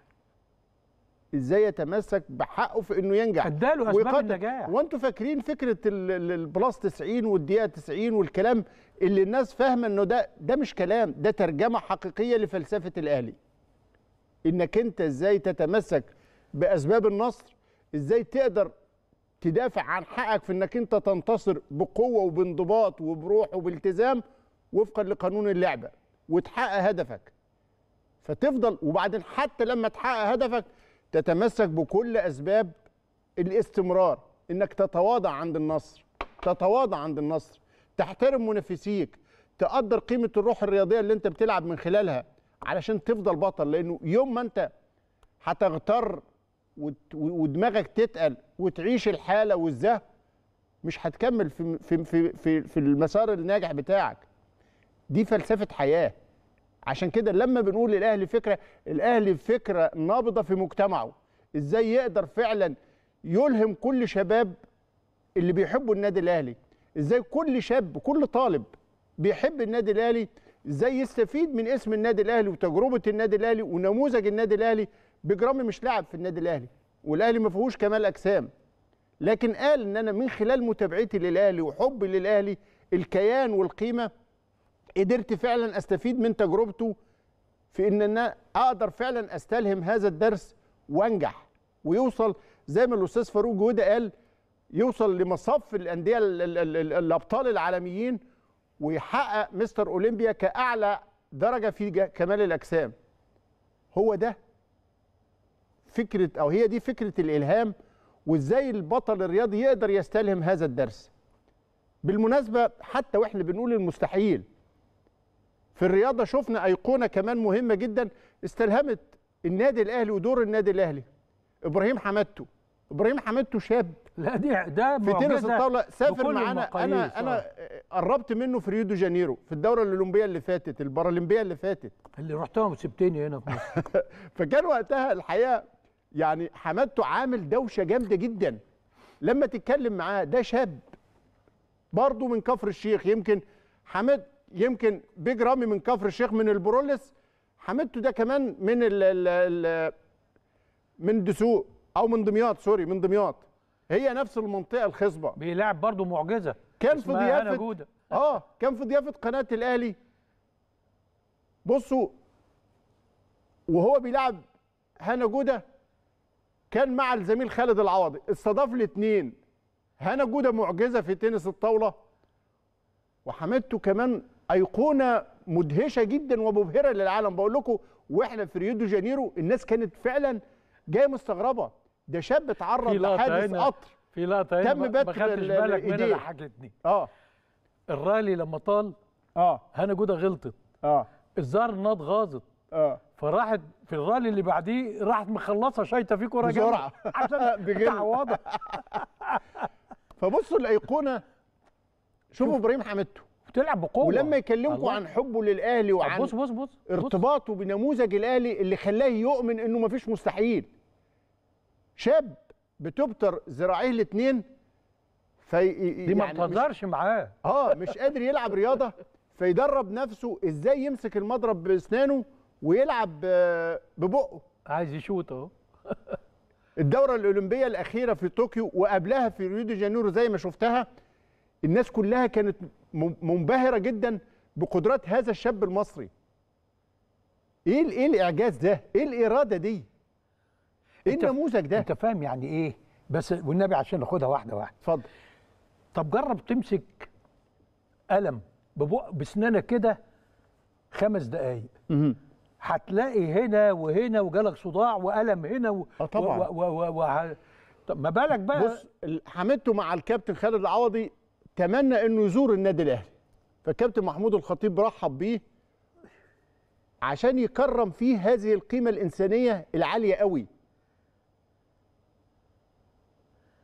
كابتن خطيب وهو في أوضة مجلس الاداره وبيديله فانيلته هدية تقديرا وتبجيلا وتفخيما و- و- وتقديرا برضه فقرة لإرادة هذا الشاب. من من الكابتن خالد العبد نجيب هنا جودة طبعاً. بالذات قدام هذا ال... آه هذه المعجزة أيوه.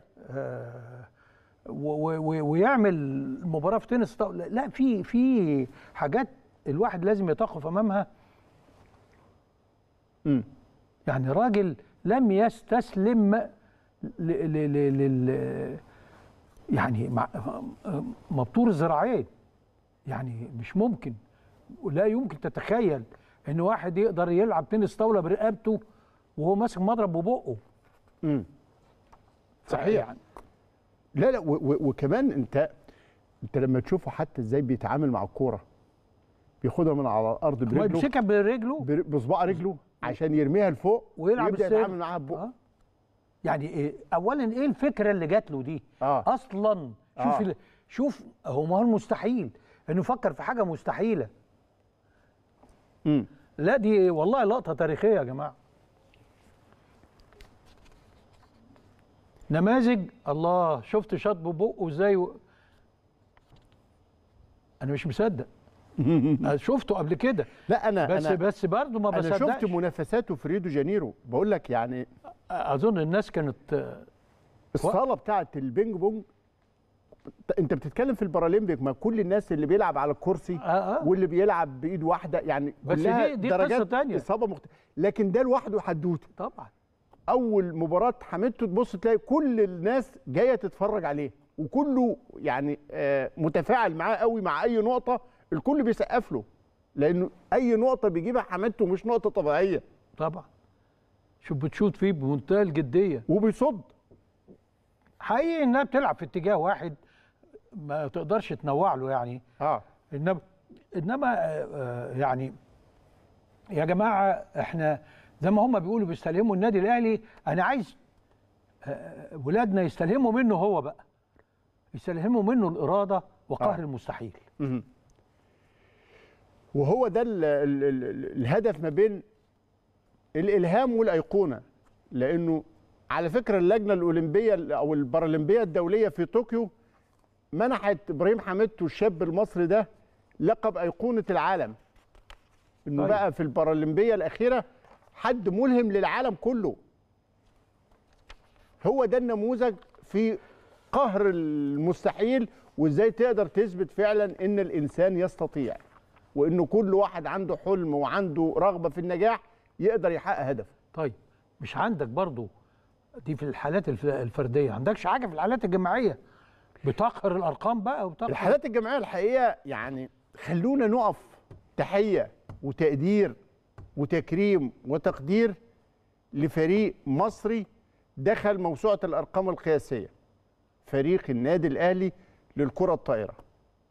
ما حققه فريق الأهلي للكرة الطائرة من إنجازات في حصد البطولات خلته يدخل موسوعة الأرقام القياسية كأكثر فريق في العالم تحقيقا للبطولات. كنت من فترة بعيدة بلح على كابتن رؤوف عبد القادر وهو بيحقق مع كرة طايره بنات إنه يخاطب القائمين على موسوعة الأرقام القياسية إنه يحقق ويدقق رقم بنات الأهلي في الكرة الطايرة. سبقوه الرجالة.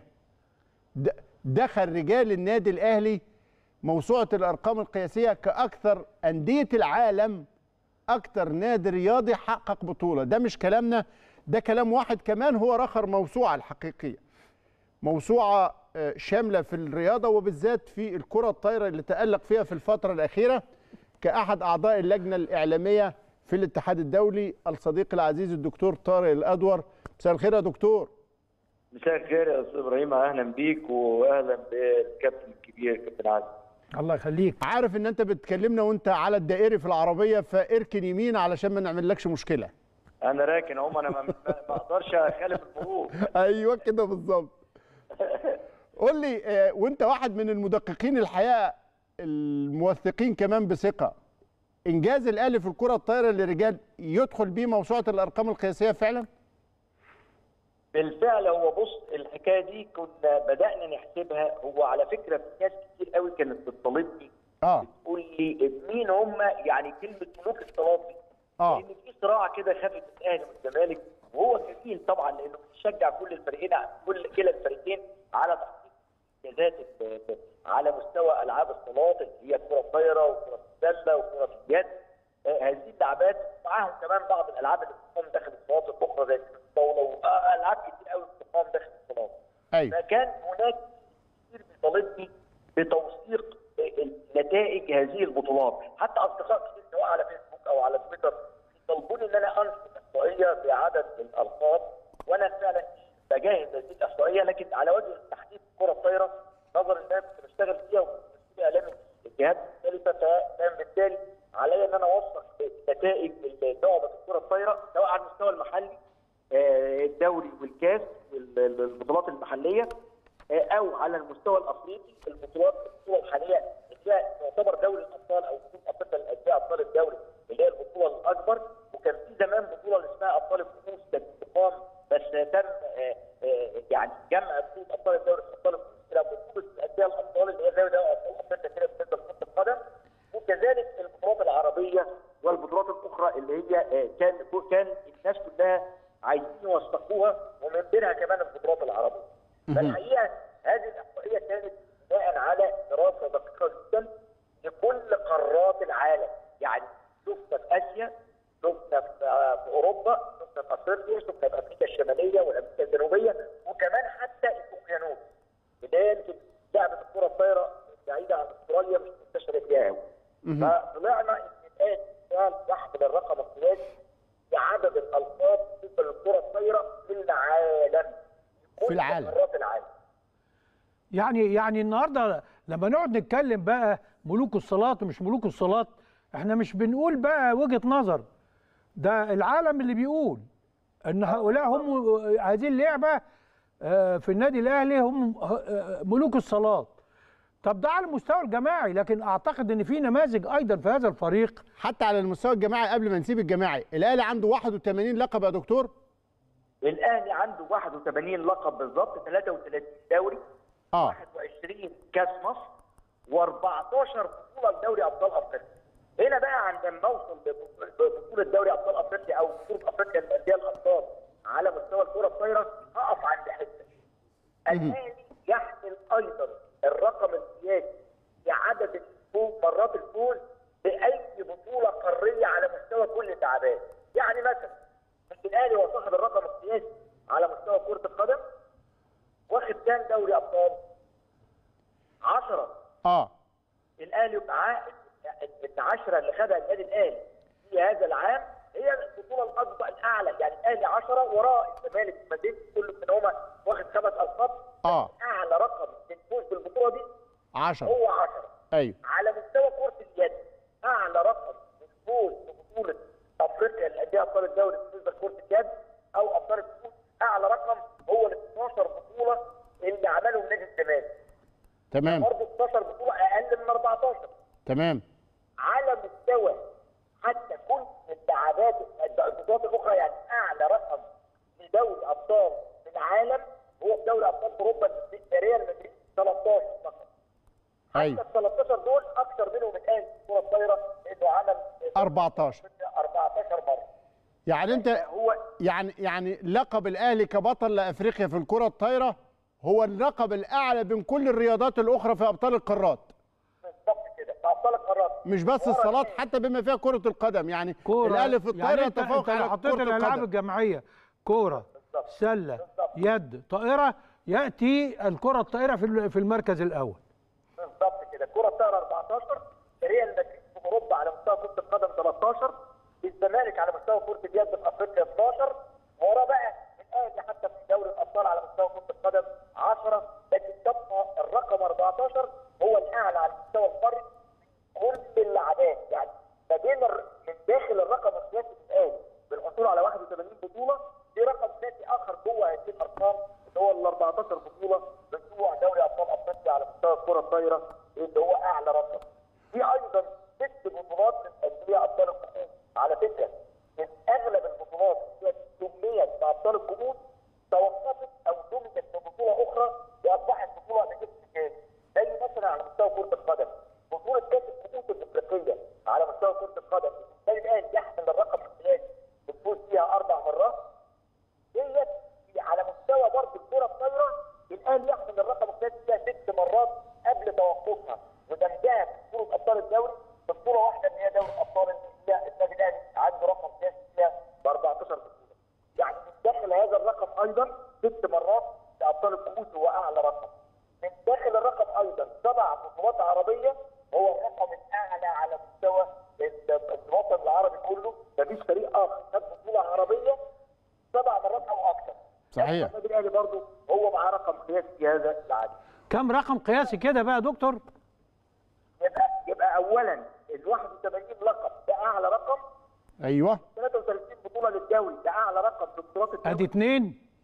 كأس مصر 21 الكاس أعلى رقم. ثلاثة 14 بطولة في دوري الأبطال ده أعلى رقم. أربعة. الرابع بطولة قارية على مستوى كل اللعبات ست أبطال الكؤوس هو أعلى عدد من مرات خامس. ببطوله ستة، ستة. أبطال الكؤوس. ستة. ثم السابع هو الأعلى رقم في البطولة العربية.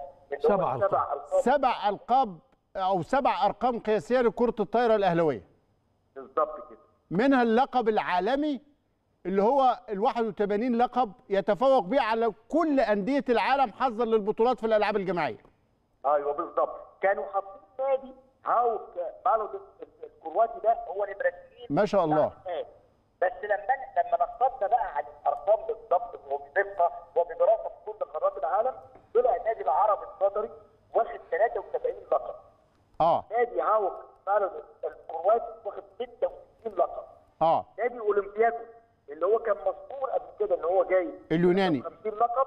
لما درسنا بالظبط عدد القابه طلعوا 65 لقب. آه. لسه موسكو 60 لقب والهلال السعودي 56 لقب. وعلى فكرة الزمالك موجود في القائمه ديت في المركز رقم 19 ب 40 لقب.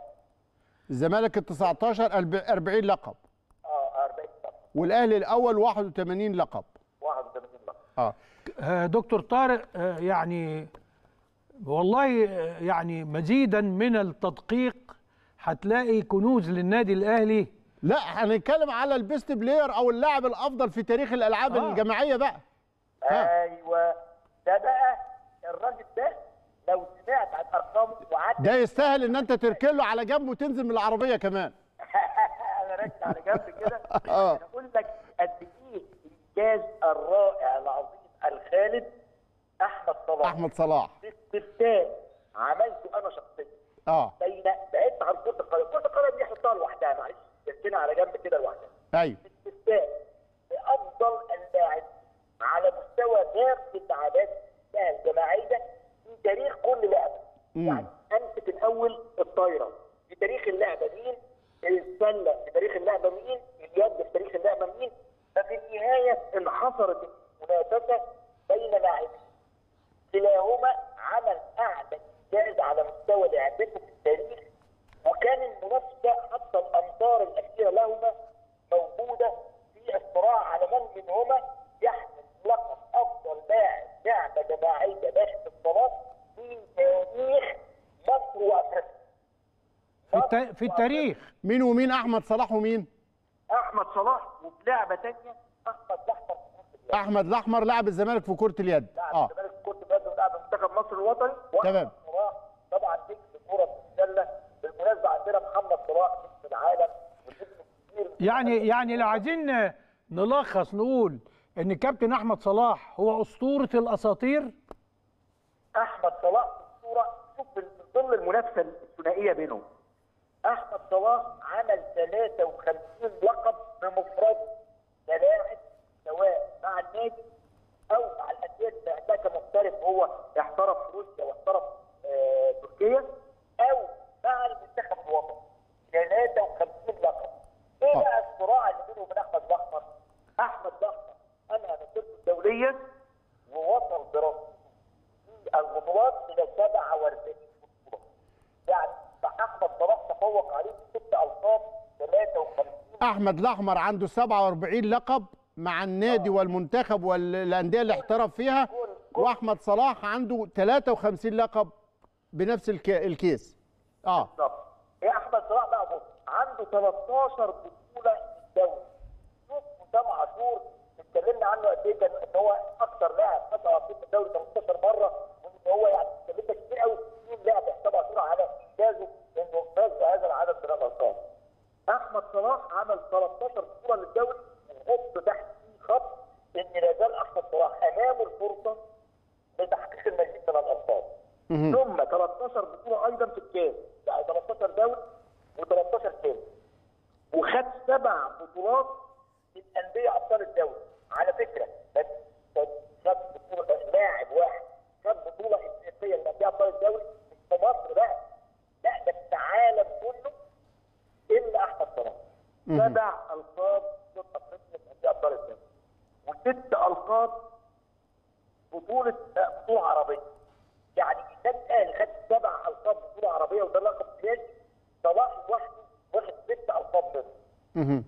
وفي بطولة أوروبية بطولة أوروبية اللي هي CEV CEV Cup اللي هو بطولة أوروبا للأندية الابطال خدها صلاح مرة في 2012 2013 وبطوله أيضا تركيا وهو محترف في تركيا خدها في موسم 2013 2014 يعني دول كلهم كده الالقاب اللي مع الأندية 41 لقب منهم 37 لقب مع الأهلي لوحده والباقي مع أندية بقى أوروبية وأندية أخرى.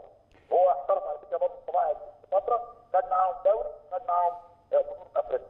طب في الميزان آه. مع المنتخب صلاح خد ست خد بقى الرقم ده. ست بطولات متتاليه كاس امم افريقيه لم يحدث أن فاز منتخب بست بطولات متتاليه كاس الامم الافريقيه على مستوى كل اللعبات إلا الكرة الطايرة. ولم يكن موجودا لاعب واحد كان عضو المنتخب الوطني في كل البطولات الستة إلا اثنين والاثنين ينتموا للنادي الأهلي. أحمد صلاح وعبد الله عبد الصمد وعبد الله. وعبد الله عبد الله كمان اسطوره لوحده. آه معاهم بقى بطولة لدور ألعاب البحر المتوسط وبطولتين African Games اللي هي دورة ألعاب إفريقية كانوا في 2003 و2007 وعندهم كمان ثلاث بطولات عربية على مستوى موسم الألعاب العربيه. تجمع دول يطلعوا 12 إلى ال 41 مع الأندية. يطلع ال 53 لقب لأحمد صلاح يتصدر بيهم العالم. وربما كان وربما كان ال- الانجاز صلاح ال- أحمد صلاح يا دكتور طارق إنه في معظم البطولات اللي شارك فيها تقريبا بياخد أحسن لاعب أو بينافس بقوة. واخد أحسن لاعب 14 مرة. 14 مرة. 14 مرة. وده برضو رقم قياسي ولا في حد بينافسه فيه؟ حد خد في أفريقيا ولا في العالم 14 مرة لقب أحسن لاعب. ده غير إيه بقى؟ في كمان ثمان مرات هو أحسن مهاره معينة. ساعات أحسن مثال ساعات أحسن ضارب. آه. آه يعني يعني المهارات الأخرى تجمعهم يطلعوا 22 مره هو اثنين أحسن اللاعبين في أي بطولات وده رقم قياسي لقب سنة.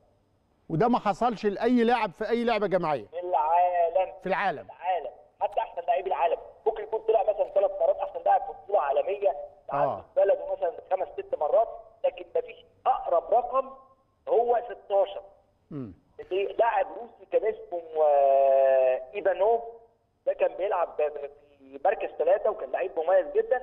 خد 16 مرة سواء مهارة أحسن بلوك أو أحسن استقبال أو أحسن أي مهارة ثانية أو أحسن لاعب بشكل عام. أحمد الأحمر وهو صاحب إنجازات كبيرة برضه في كرة اليد. ما سبقش له مع ال- الأندية اللي احترف فيها اخذ بطولة آه، دوري أبطال أوروبا؟ آه، خد بس خلي بالك إحنا بنتكلم على إن هو آه، أح- أحمد صلاح خد دوري أبطال أوروبا مع آه، النادي اللي كان محترف في آه، روسيا لكن آه، آه، خد كام؟ المجموع ككل. آه. مجموع أحمد الأحمر ككل في كل البطولات مع الزمالك. 47 يلا راح 47 و و وصلاح 53 53 آه. شكر كل الشكر ليك. في و- حاجة؟ وهل وهل عالميا يا دكتور في أي مقارنة في الميزان النسبي ما بين كرة اليد والكره الطايرة؟ آه، إيه مش فاهم آه، تقصد إيه؟ حجم شعبية اللعبة حجم تأثير اللعبة ال- ال- ال- حتى القيمة التسويقية للعبة؟ لا هو بص عشان بنقارن بين لعبتين مختلفتين فكرة اليد هي لعبة أكثر شعبية في بعض الدول أيوه. الكرة الطايرة أكثر شعبية في الدول الأخرى. بس الدول الشعبية للكرة الطايرة أكثر شوية. ليه؟ لأن كرة اليد مركزة أكثر في أوروبا وفي الدول زي عندنا كده. آه. مثلا لما تروح البرازيل عندهم آه أمريكا اللاتينية الطايرة عالية قوي فيها طبعا. آه بالظبط عندهم الأرجنتين عندهم الكرة الطايرة أكثر من رغم إن كده الدولتين الأرجنتين والبرازيل فحجم انتشار اللعبة وقيمة اللعبة الطايرة أشمل. بالظبط المجال الجوي بقى بتاعها. أيوه بالظبط شاكرين جدا يا دكتور. أسعدتنا وأثرتنا بالمعلومات. وقبل ما نطلع فاصل بس عايز أقول كلمة. للدكتور طارق ولا؟ لا الدكتور طارق شكرناه. شكرا جزيلا عايزين نجهده. طارق. وعايزين نتحرك يلحق بالعربية. يتحرك بقى. شكرا جزيلا لكن عايز أقول الرياضي الموسوعي يعني- الدكتور طارق الادور بالتأكيد على قد فخرنا إحنا كأهلاوية بإن أسطورة الأساطير يطلع من النادي الأهلي الكابتن أحمد صلاح. لكن أيضا إحنا كمصريين كلنا علينا نفخر إن التنافس مع لاعب مصري آخر. أيوه. المنافسة كانت بين لاعب كرة أحمد طا- الأحمر وأحمد صلاح آه أحمد صلاح في ال في ال في, ال اليد. في آه ولاعب كرة اليد آه حقيقي آه ده, حسمها ده إنجاز مصري كمان مصري زي ما تيجي. تقول إيه الأهلي والزمالك آه في في نادي في القرن كرة والوصيف. القدم آه آه. والوصيف آه. حتى لحد النهارده أيوة. في مجمل ال- آه في ال 21 لا لكن في المجمل الأهلي والزمالك ما زالوا هم اللي بيتصدروا. فشي رائع إنه يبقى أحمد صلاح ف- وأحمد الأحمر. فخر المصريين. أيوة. عشان ما نقعدش بقى نتكلم مع بعض. نلون بقى. آه ما, ما إحنا بس آه. إيه إحنا ليه ليه نورنا على ال- الكلام ده؟ لأن لما يخش لعبة في موسوعة جينيس لازم الناس تاخد حقها وهنعمل المرة الجاية إحصائية للكابتن برضو عبد الله عبد السلام. هنجد عنده أرقام تقترب من هذه الأرقام.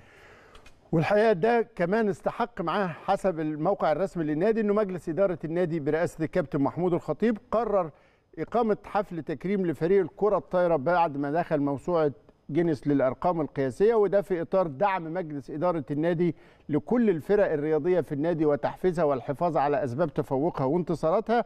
وشفتوا مؤخرا مجلس الإدارة كان كرم فريق كرة اليد بعد ما فاز بكأس الكؤوس الأفريقية وكرم كرة السلة بعد إحراز البطولة العربية. وكمان- وكمان لكن أعتقد قبل ما تطلع أساطير بس الصالات ملوك الطايرة محتاجين. تكريم خاص لكن جدا. لكن لكن عايز أقول لك حاجة الأسبوع ده. آه. آه عسل عم آه مصطفى عسل. آه مصطفى عسل. بطل السكواش. آه بيكسب بطولة أمريكا. أيوه. في- السن ده أيوة. لا عمل برضو حاجة جامدة وأنا شفت له صحيح. برضو الحوار بتاعه. آه كان امبارح ضيف في البرنامج الأبطال في القناة. آه. مع كابتن خالد العوض آه خالد العوض آه أو مع كابتن هيثم السعيد. هيثم سعيد. أيوه هيثم سعيد. لكن أنت أنت أنت بتتكلم في إيه بقى؟ ده عنده 18 سنة. أيوه بسم الله ما شاء الله على قوامه وعلى شخصيته. مم. وعلى تحدياته. هنا جودة.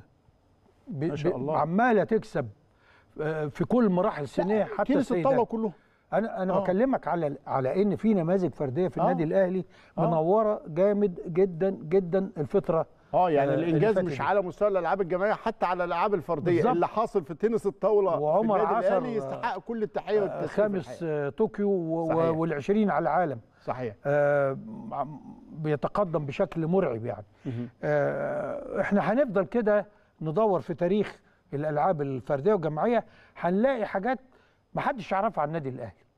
كنوز معلومات حقيقية وابطال حقيقيين يستحقوا كل التوقف أمامهم عشان هم دول النماذج الذي ينبغي أن يتأسى بها شبابنا. ده كان الإلهام أو النموذج الملهم وهو النادي الأهلي. وشفتوا بجرام إزاي استلهم النادي الأهلي وقيمة النادي الأهلي. وكانت الايقونه أيضا آه، إبراهيم حمادته هذا الأيقونة المبدع في تنس الطاولة اللي إزاي قدر يهزم إعاقته وإصابته ويقدر يلعب تنس الطاولة بأسنانه. عشان كده كان هذا الكلام عن إنه مفيش مستحيل. فريق الكرة الطايرة للرجال في النادي الأهلي اللي دخل موسوعة الأرقام القياسية العالمية بالأرقام ك 81 لقب. شفتوا مفرداتها مع الدكتور طارق الأدور. وفي ثنايا هذا الرقم عنده سبع أرقام قياسية تانية. وفي ثنايا هذه الأرقام أيضا عنده أسطورة أساطير ال- ال- ألعاب الصالات على مستوى العالم. أحمد صلاح ب 102 فوز متتالي لفريق النادي الأهلي. أعتقد إنجازات تخليك تفخر إنك أهلاوي وتتابعنا بعد الفصل ما تخافش على الأهلي. أهلا بحضراتكم من جديد. بعد ما شفنا ملوك الحقيقة أساطير يمكن حتى لفظ أساطير وملوك استهلكت من كتر استخدامها لكن دخول فريق الكرة الطايرة للرجال في النادي الأهلي لموسوعة جينيس للأرقام القياسية فعلا يستحق معاه كل الأوصاف ودخول أحمد صلاح ليكون أسطورة أساطير الألعاب الرياضية عامة على مستوى العالم يستحق عليه أيضا كل التحية والتقدير والاهتمام. هو ده النموذج الكبير جدا بجد لكن يبقى هناك كلام كثير ب بعظمة لسانه. بند يفتح أبواب جهنم. والعياذ بالله. رابطة الأندية المحترفة مشكورة بدأت مهامها في تسلم مسابقة الدوري حطت الجدول عملت مؤتمر آه، صحفي أو مؤتمر لإجراء القرعة بأحد الفنادق بشكل شيك قوي استخدمت ودعت عدد من كبار النجوم المشاهير في اللعبة. عملت شكل كويس حتى إنه الكابتن أحمد حسام ميدو وهو بيسحبوا القرعة طلع رقم واحد. طب مين اللي يطلع؟ مين اللي يكون رقم واحد؟ لما سحب طلع الأهلي هو نمبر 1 فعل طيب بإذن الله. فده كان فيه الخير بإذن الله تعالى إنه يكون الأهلي هو الأول بإيد ميدو. حتى كابتن. آه بإيد ميدو مش بإيد حد تاني. ولعله شاف بقى الكلام اللي كان بيتقال. أصل في كرة ساعه وكرة سخنة. اسألوا ميدو على الكرة الساعة والكرة السخنة في القرعة.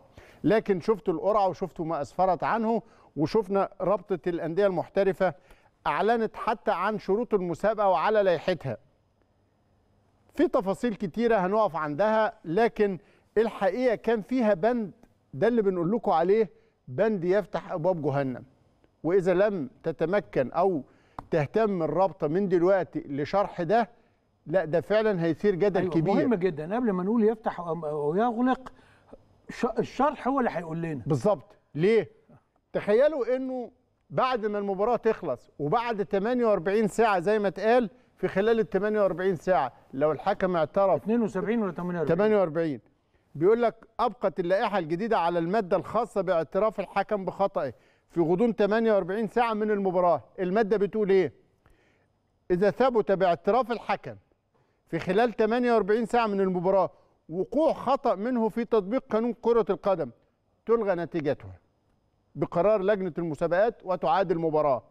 ده فعلا اللي هيفتح أبواب الجدل الكبيرة. لا هتفتح في حالة واحدة. إذا لم يشرح وتضبط إيه- إذا حب حد ياخدك في سكة الجدل آه. هو بيقول لك البند بيقول إيه اقراه تاني كده يا أستاذ إبراهيم.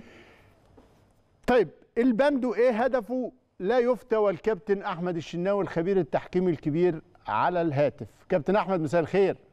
مساء الخير يا كابتن إبراهيم ومساء الخير يا باشمهندس عدلي. آه ليلة سعيدة عليكم إن شاء الله. هو بند طبعا آه خليني بس أقول كل موسم وأنت طيب بال- في البداية. وانت طيب يا حبيبي ربنا يخليك بص عايز نقول حاجة أن مباراة كرة القدم يا كباتن لازم الناس تعرف إنها تلعب بواسطه تلعب بقانون كرة القدم. بالقانون بمعنى أيوة. إيه؟ إن إن النهارده آه، القانون اللي بينظم المباراة في الملعب لكن لائحه المسابقة هي بتنظم المباراة والعقوبات شرط ألا تخالف قانون اللعبة يعني إيه؟ يعني ما تقدرش لائحه مسابقة في مباراة في أي مسابقة في العالم كرة القدم تلعب كرة القدم اللي هي ال 11 ان تيجي تقول مثلا اللاعب اللي ياخد منذرين في المباراة ما يطرد ما تقدرش. آه.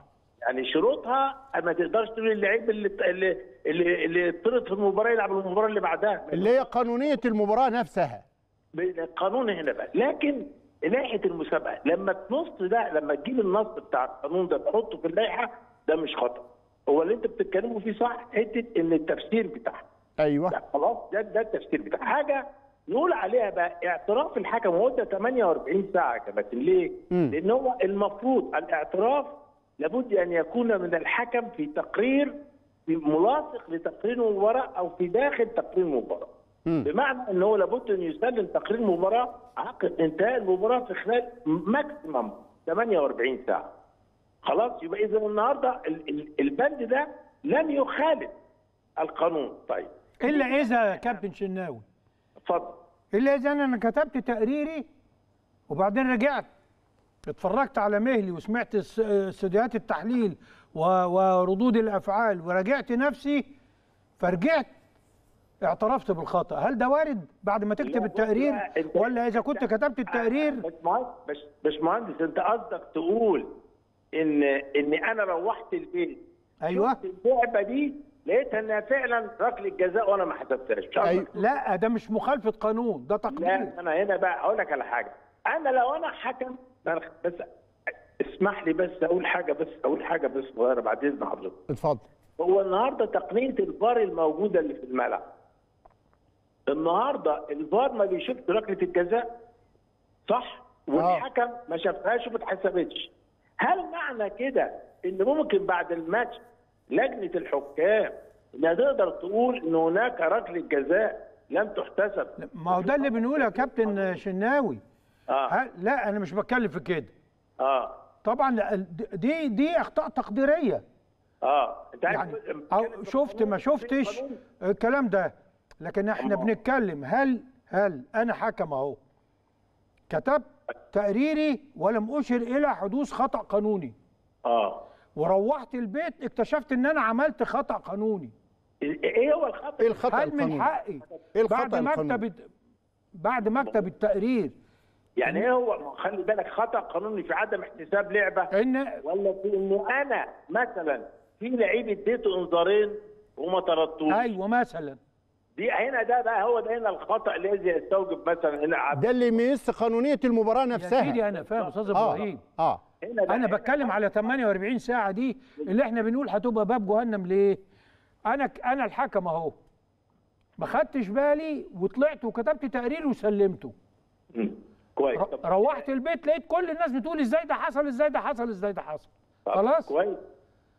ف... فبعد ما يقول إزاي ده حصل هل من حقي إن أنا أر- أرجع تاني في خلال 48 ساعة أعترف بخطئي ولا ما كتبت التقرير خلاص؟ لا لا خلي بالك ال- اولا يعني أنا عايز أقول حاجة يا كابتن أصل ده حدث.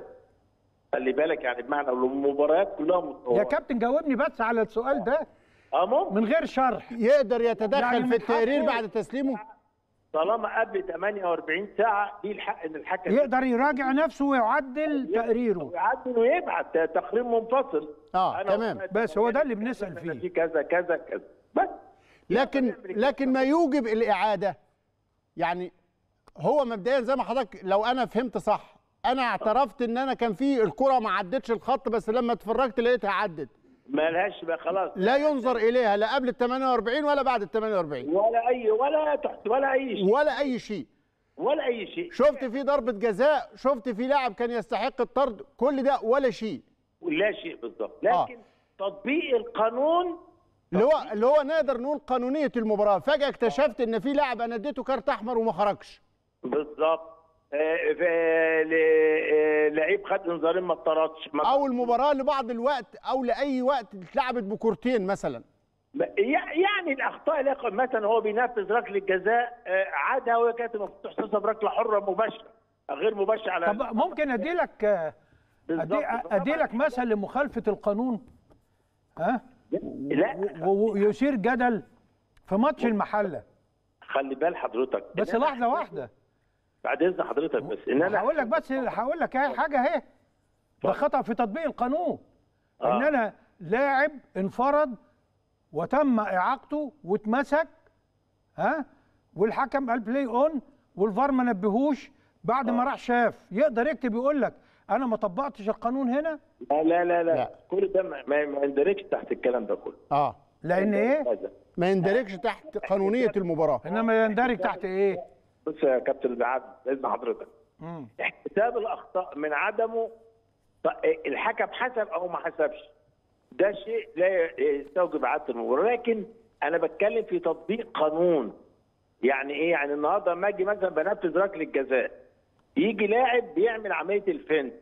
المفروض دخلت المرمى ما دخلتش ركلة حرة غير مباشرة وإنذار.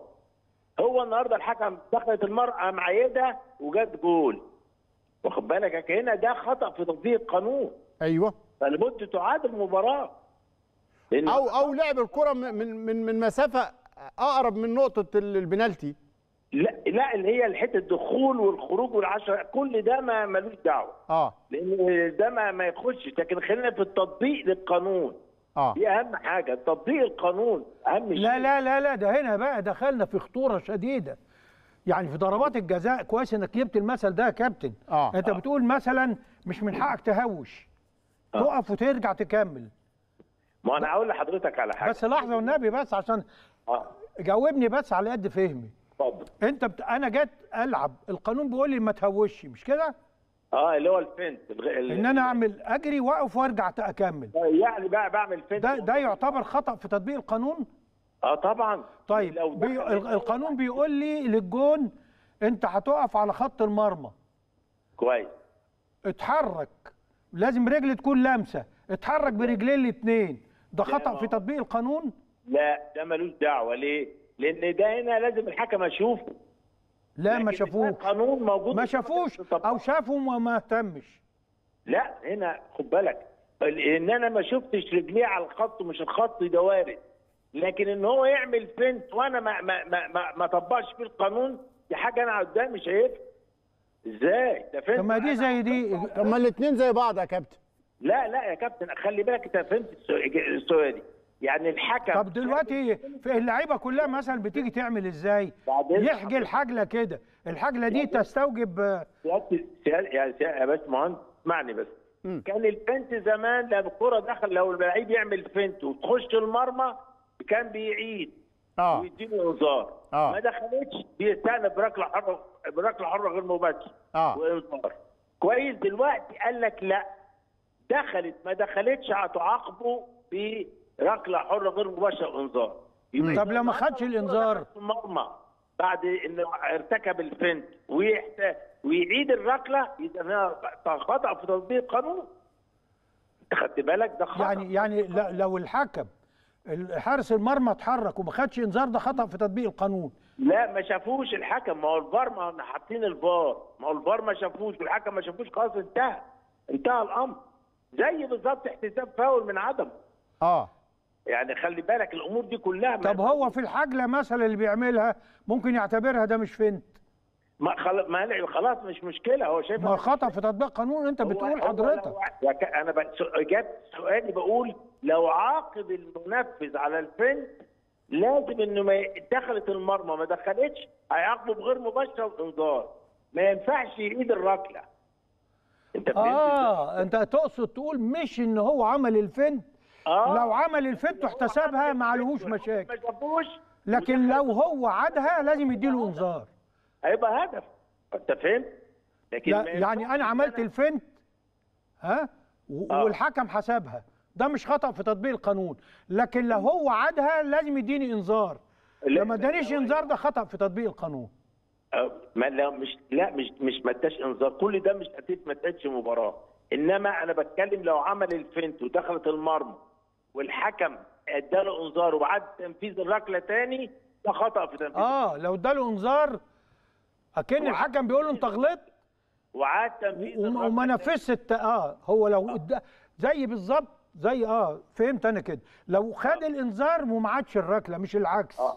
آه آه. مش لو عاد الركلة وما ادالوش إنذار. بالظبط. لو خد الإنذار وما عادش الركلة. ماشي. ماشي. لو عاد ركله الجزاء هنا يعتبر خطا في تنفيذ القانون. أنا عايز بس أقول حاجة مهمة جدا يا كابتن أيوه. آه، فيما يخص اعتراف الحكم آه، عشان أديكم نبذة تاريخية كده سريعة للناس. أيوه ما ما فيش مرة في تاريخ كرة القدم في مصر هنا حصل إن حكم كتب قال أنا أخطأت في كذا وكذا. مش هتحصل. آه.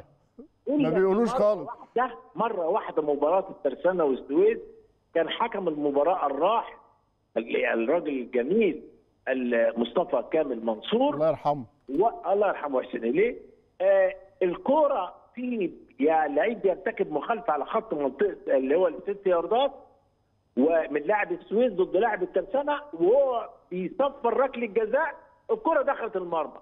فطول الصفاره وكأنها بقت هدف.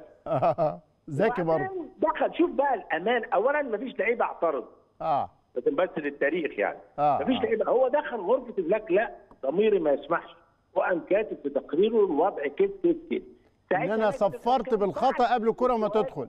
آه. بعت السؤال ده للاتحاد على. فكرة دي حصلت في ماتش للأهلي السنة اللي فاتت. قالوا لهم تعاد المباراة. تعاد طبعا لأنه صفر ويعتبر وقف اللعب مع دي الصفار. حصلت في ماتش للأهلي السنة اللي فاتت. ها؟ أيوه هتقول لي بتاعت محمد عادل والحاجات دي كلها. طيب. أنا معاك أنا معاك في الكلام. ما هو ده وما أنا تعادتش المباراة. ما لا ما هو ما عشان كانت النتيجة لصالح النادي. آه. بص يا كابتن آه، كابتن عادل هل الحكم اعترف؟ هو ده المعيار. آه آه, خلاص آه. لو كان اعترف كانت اتعادت. لو على طول لو أنا اعترفت طب اسمع لو لو اعترفوا النتيجة لصالح الفريق اللي اللي حصل معاه الخطأ تتعاد ولا خلاص بقى ما استفاد من النتيجة؟ سؤال بقى سؤال جميل. لو كانت ال ال الخطأ ده أثر في نتيجة المباراة. أثر ليه تأثير في نتيجة المباراة. الإعادة وجوبية. آه. لكن النهارده افرض ان أنا اللعيب اللي كان كذا ولا كذا وفرقتي خسرت. اعيدك الماتش أنت تكسب تاني ليه؟ إذا النهارده ماشي. تمام الاعاده. لابد إن يكون هناك خطأ. أثر في نتيجة المباراة. أثر في النتيجة. ويكون الفريق استفاد من هذا الخطأ. الذي كان عليه القدم إذا أنت معانا إنه البند ده محتاج يتشرح بشكل لا كافي. هو هو بص يا أستاذ إبراهيم. لكن أنا عايز أقول على حاجة. أنا أنا مبسوط إن هم حطوا البند ده في لائحة المسابقة. آه. عشان الناس تعرف برضو الأمور الناس تعرف لأن برضو أنا عايز أقول لك على حاجة من خلال برنامجكم. مفيش شك إن الم- المعرفة أو الدراية أو الإلمام بقانون كرة القدم سواء على مستوى اللاعبين على مستوى الأجهزة الفنية أنا شايفه إنه يعني ضعيف جدا. ضعيف ضعيف. آه، ضعيف جدا. يعني ممكن نلخص بقى عشان الناس مت... إحنا طولنا في المناقشة. اذا الخطأ يجب أن يكون خطأ في تنفيذ القانون. ثانيا وليس خطأ تقديريا. بالظبط آه ثانيا يجب أن يعترف به الحكم ده أكيد. وخلي ثالثا أن يكون مؤثرا على نتيجة المباراة. سيادة ال- آه، لا الثلاث شروط دول كده صح. خلال ال 48 ساعة اللي م- منصوص عليهم. وفي خلال 48 اذا ساعة. اذا خطأ في تطبيق القانون وليس خطأ تقديري. ثانيا يعترف به الحكم خلال 48 ساعة. ثالثا لا يكون مؤثرا في نتيجة المباراة. بالظبط. لا يعني عشان تعيد المباراة لازم يكون فيه تأثير طبعا. آه. ما إحنا بنتكلم على إعادة المباراة. طيب. الحكم اعترف بالخطأ والخطأ ده ما, ما استفادش منه الفريق اللي صالح الخطا خلاص. طيب. هتعيد المباراة ليه؟ ما أنا ما أعتقدش إنك يعني يعني المخطئ تكافئه بإعادة المباراة. طيب. كابتن شناوي إحنا داخلين بقى على الموسم الجديد لجنة حكام جديدة وسمعنا كلام كتير على تطوير تقنية الفار سواء على المستوى البشري أو على المستوى التقني. أنت حضرتك كواحد من أهم خبراء اللعبة شايف الموضوع إزاي؟ والله أنا شايف هم دلوقتي آه، زودوا عدد ال- الحكام اللي هم ياخدوا رخصة الحكم المعتمدين،. حكم زودوا العدد مم. وده الشيء اللي يبقى عندهم آه، طبعا أريحية في الاختيارات والتعيينات. آه، الحاجة ال- ال- الأهم برضو اللي أنا عايز أقولها يا كابتن إبراهيم مم. إن الناس معتقدة إن تقنية الفار يعني معناها zero أخطاء وده لا مش موجود صحيح. لو أنت شفت في الدوري الإنجليزي أنا مش عايز أقول لك لعبه ركلة جزاء كان ماتش بتاع المان سيتي أيوه، أيوه. وساوثهامبتون أو حاجة زي كده. ركلة جزاء واضحة ما فيش فيها خلاف. والفار جابه هو حسب ركلة جزاء. والفار جابه لغى وهي هي ركلة جزاء لا خلاف عليها. وبتاعت رونالدو لجنة الحكام في إنجلترا طلعت بيان إن في ليه ركلة جزاء. أنا عايز أقول إن يعني إذا أردنا أن يكون لكن هو الفار بيقلل على قد ما نقدر.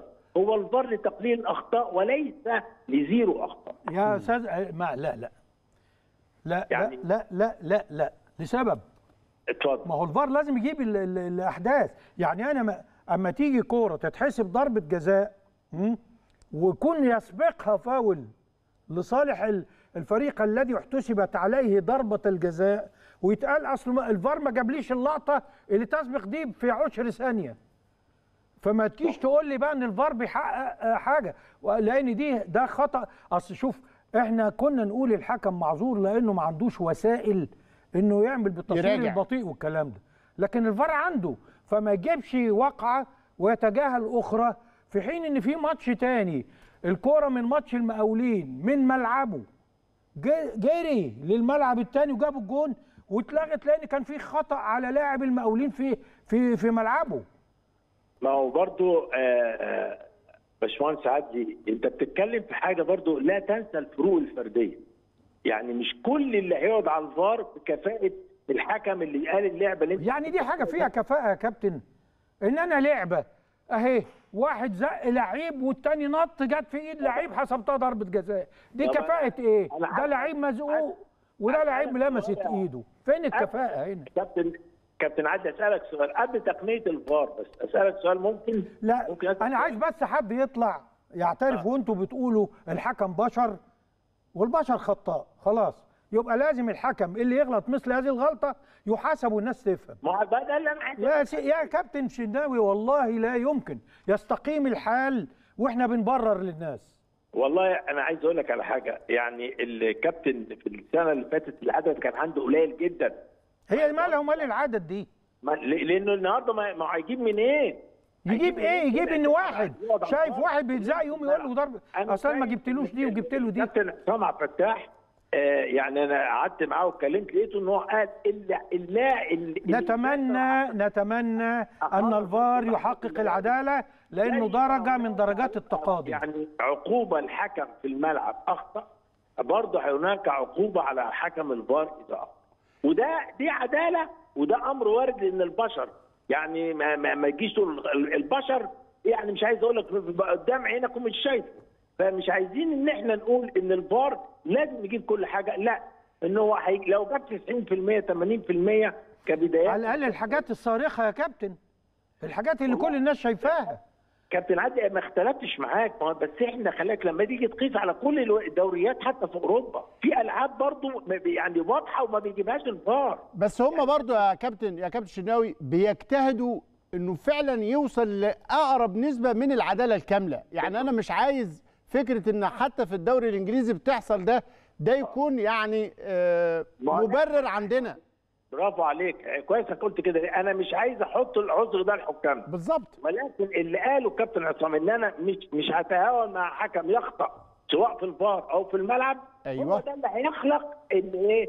الفار اخطر لأن الملعب معذور شوية. لكن الفار على ده؟ الفار أو في الملعب. مم. يعني يعني ده الشيء اللي, اللي أنا شايفه كويس. وطبعا البدلات اللي زادت والحاجات دي للحكام أنا بعتقد يعني إدت دفعة كويسة. نتمنى. التوفيق. وانت معايا كمان يا كابتن إنه اختيار الحكام مع الفار كان واضح إنه بيبقى فيه آه، علاقات متوترة شوية بين حكم الفار وحكم الملعب بيأثر على القرارات يعني برضه برضه ما خلي بالك ال- دلوقتي خلاص الف- الفترة اللي فاتت كان العدد محدود دلوقتي في سelection يعني تقدر تختار. ن- عندك آه، دخل دخل أكتر من 100 واحد. صحيح. النهارده عندك في أريحية في الاختيار وتقدر تعمل المجاميع. يعني نقدر نقول إن مثلا كابتن إبراهيم منيسي كابتن أحمد الشناوي بتاعهم مع بعض هيحطهم ككرو مع بعض. وده شيء هيشتغلوا عليه وأنا شايف إن ده شيء كويس إن شاء الله. إن شاء الله. كل الأمنيات للتحكيم. نجاح المسابقه بنجاح التحكيم لا يعني بتزود المتعة طبعا. بس ده هيقل هيقلل فرص التحليل يا كابتن. مش مهم مش مهم المهم التحكيم ينجح بس. إن شاء الله. شكرا جزيلا وكل سنة وحضرتك طيب يا كابتن. وأنت طيب أشكركم ومتشكر شكرا شكرا جزيلا للكابتن أحمد الشناوي الخبير التحكيمي اللي أعتقد قال كلام مهم جدا قبل بداية موسم. بنتمنى إن شاء الله تعالى فيه يكون العدل موجود بين كل المتنافسين. هنطلع لفاصل وبعد الفاصل كلام مهم.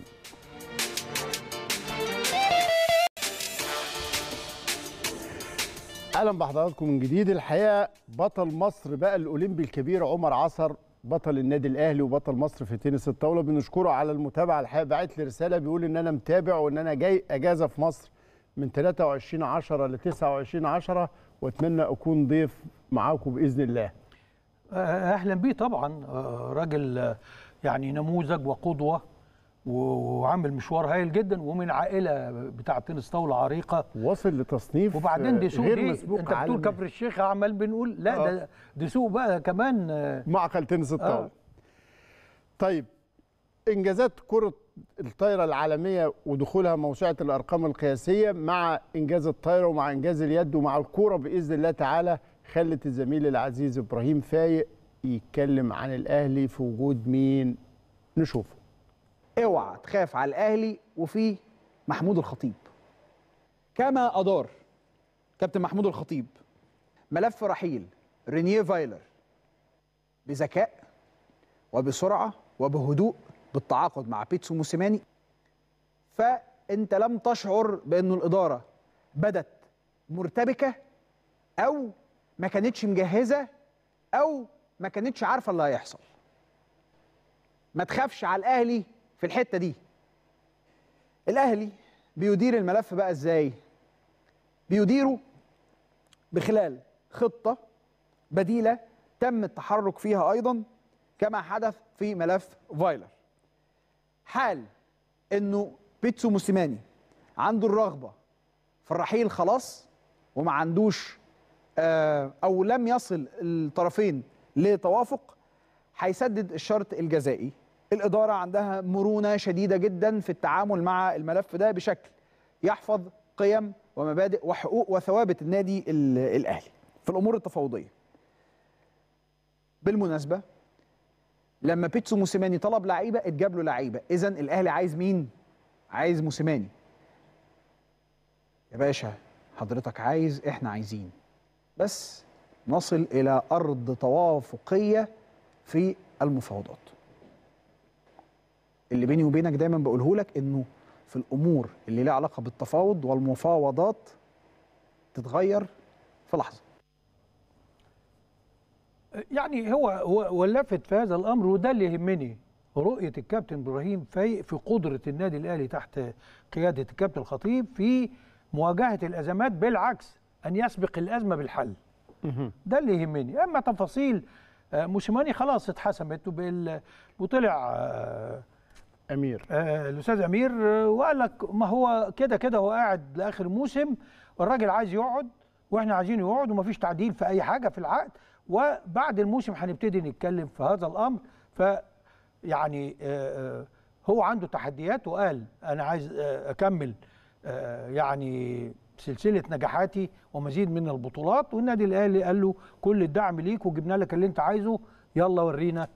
آه، يعني هتعمل إيه زي الموسم اللي فاتت كده بإذن الله ونتدارك أخطائنا اللي فيه وأتوقع موسما ناجحا فيما قادم من الأيام بإذن الله. وده نظام الأهلي يا جماعة اللي خلى حتى كل ال- السادة الأفاضل مسؤولي الأندية الأخرى وقياداتها بيميزوا بين لاعب النادي الأهلي ومسؤول النادي الأهلي وقيمته.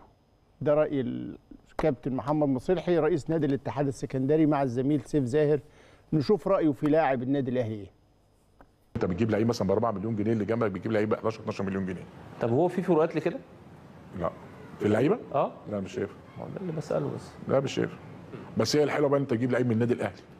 فأنت بتشتري من النادي الأهلي. فال brand فبتاخد انت انت بتشتري brand. ما بتشتريش quality لعيبة. واصلة؟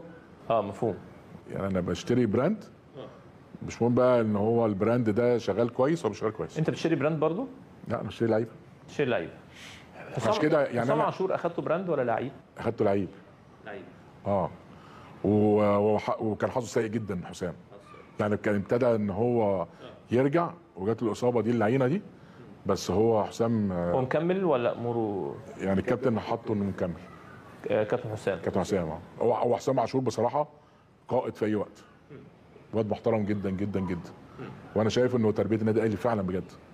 اللعيبة تطلع من النادي الأهلي لعيبة كورة. تختلف عن أي مكان تاني؟ أي تاني في مصر. حتى الناشئين. يعني لما بتقعد حتى تتكلم مع لاعب ناشئ ولا حاجة عاوز تجيبه يدعم الف- الفرقة آه، حتى إبراهيم الكابتن إبراهيم حسن يقول لك إيه؟ تربية النادي الأهلي. ده كلام مهم جدا جدا جدا. لأن إحنا لما بنقول المناخ بيفرز إيه؟ الثقافة بتطلع منين؟ بتطلع لما يجي يقول لك إن لعيب النادي الأهلي هو يعني ربطه بالكلام الاولاني بيبقى brand. brand يعني إيه؟ حاجة مصنفة. يعني حاجة هي لوحدها كده معتمدة. آه، لا يعني ال brand ده اللي هو ال ال ال الاسم اللي هو آه. بيعبر عن تميز لوحده. بالظبط. له قيمة لوحده. يعني آه. آه. يعني تيجي تشتري قميص brand بيبقى ثمنه في الاسم. ال value بتاعه. آه يعني ممكن تلاقي حاجات شبهه. آه. بس ال brand ده انت بتاخده على المسوجر بمواصفاته آه طب فهو قال لك لعيب النادي الأهلي لا لا لا ده حاجة تانية. وطالع من ثقافة وده اللي بنقوله.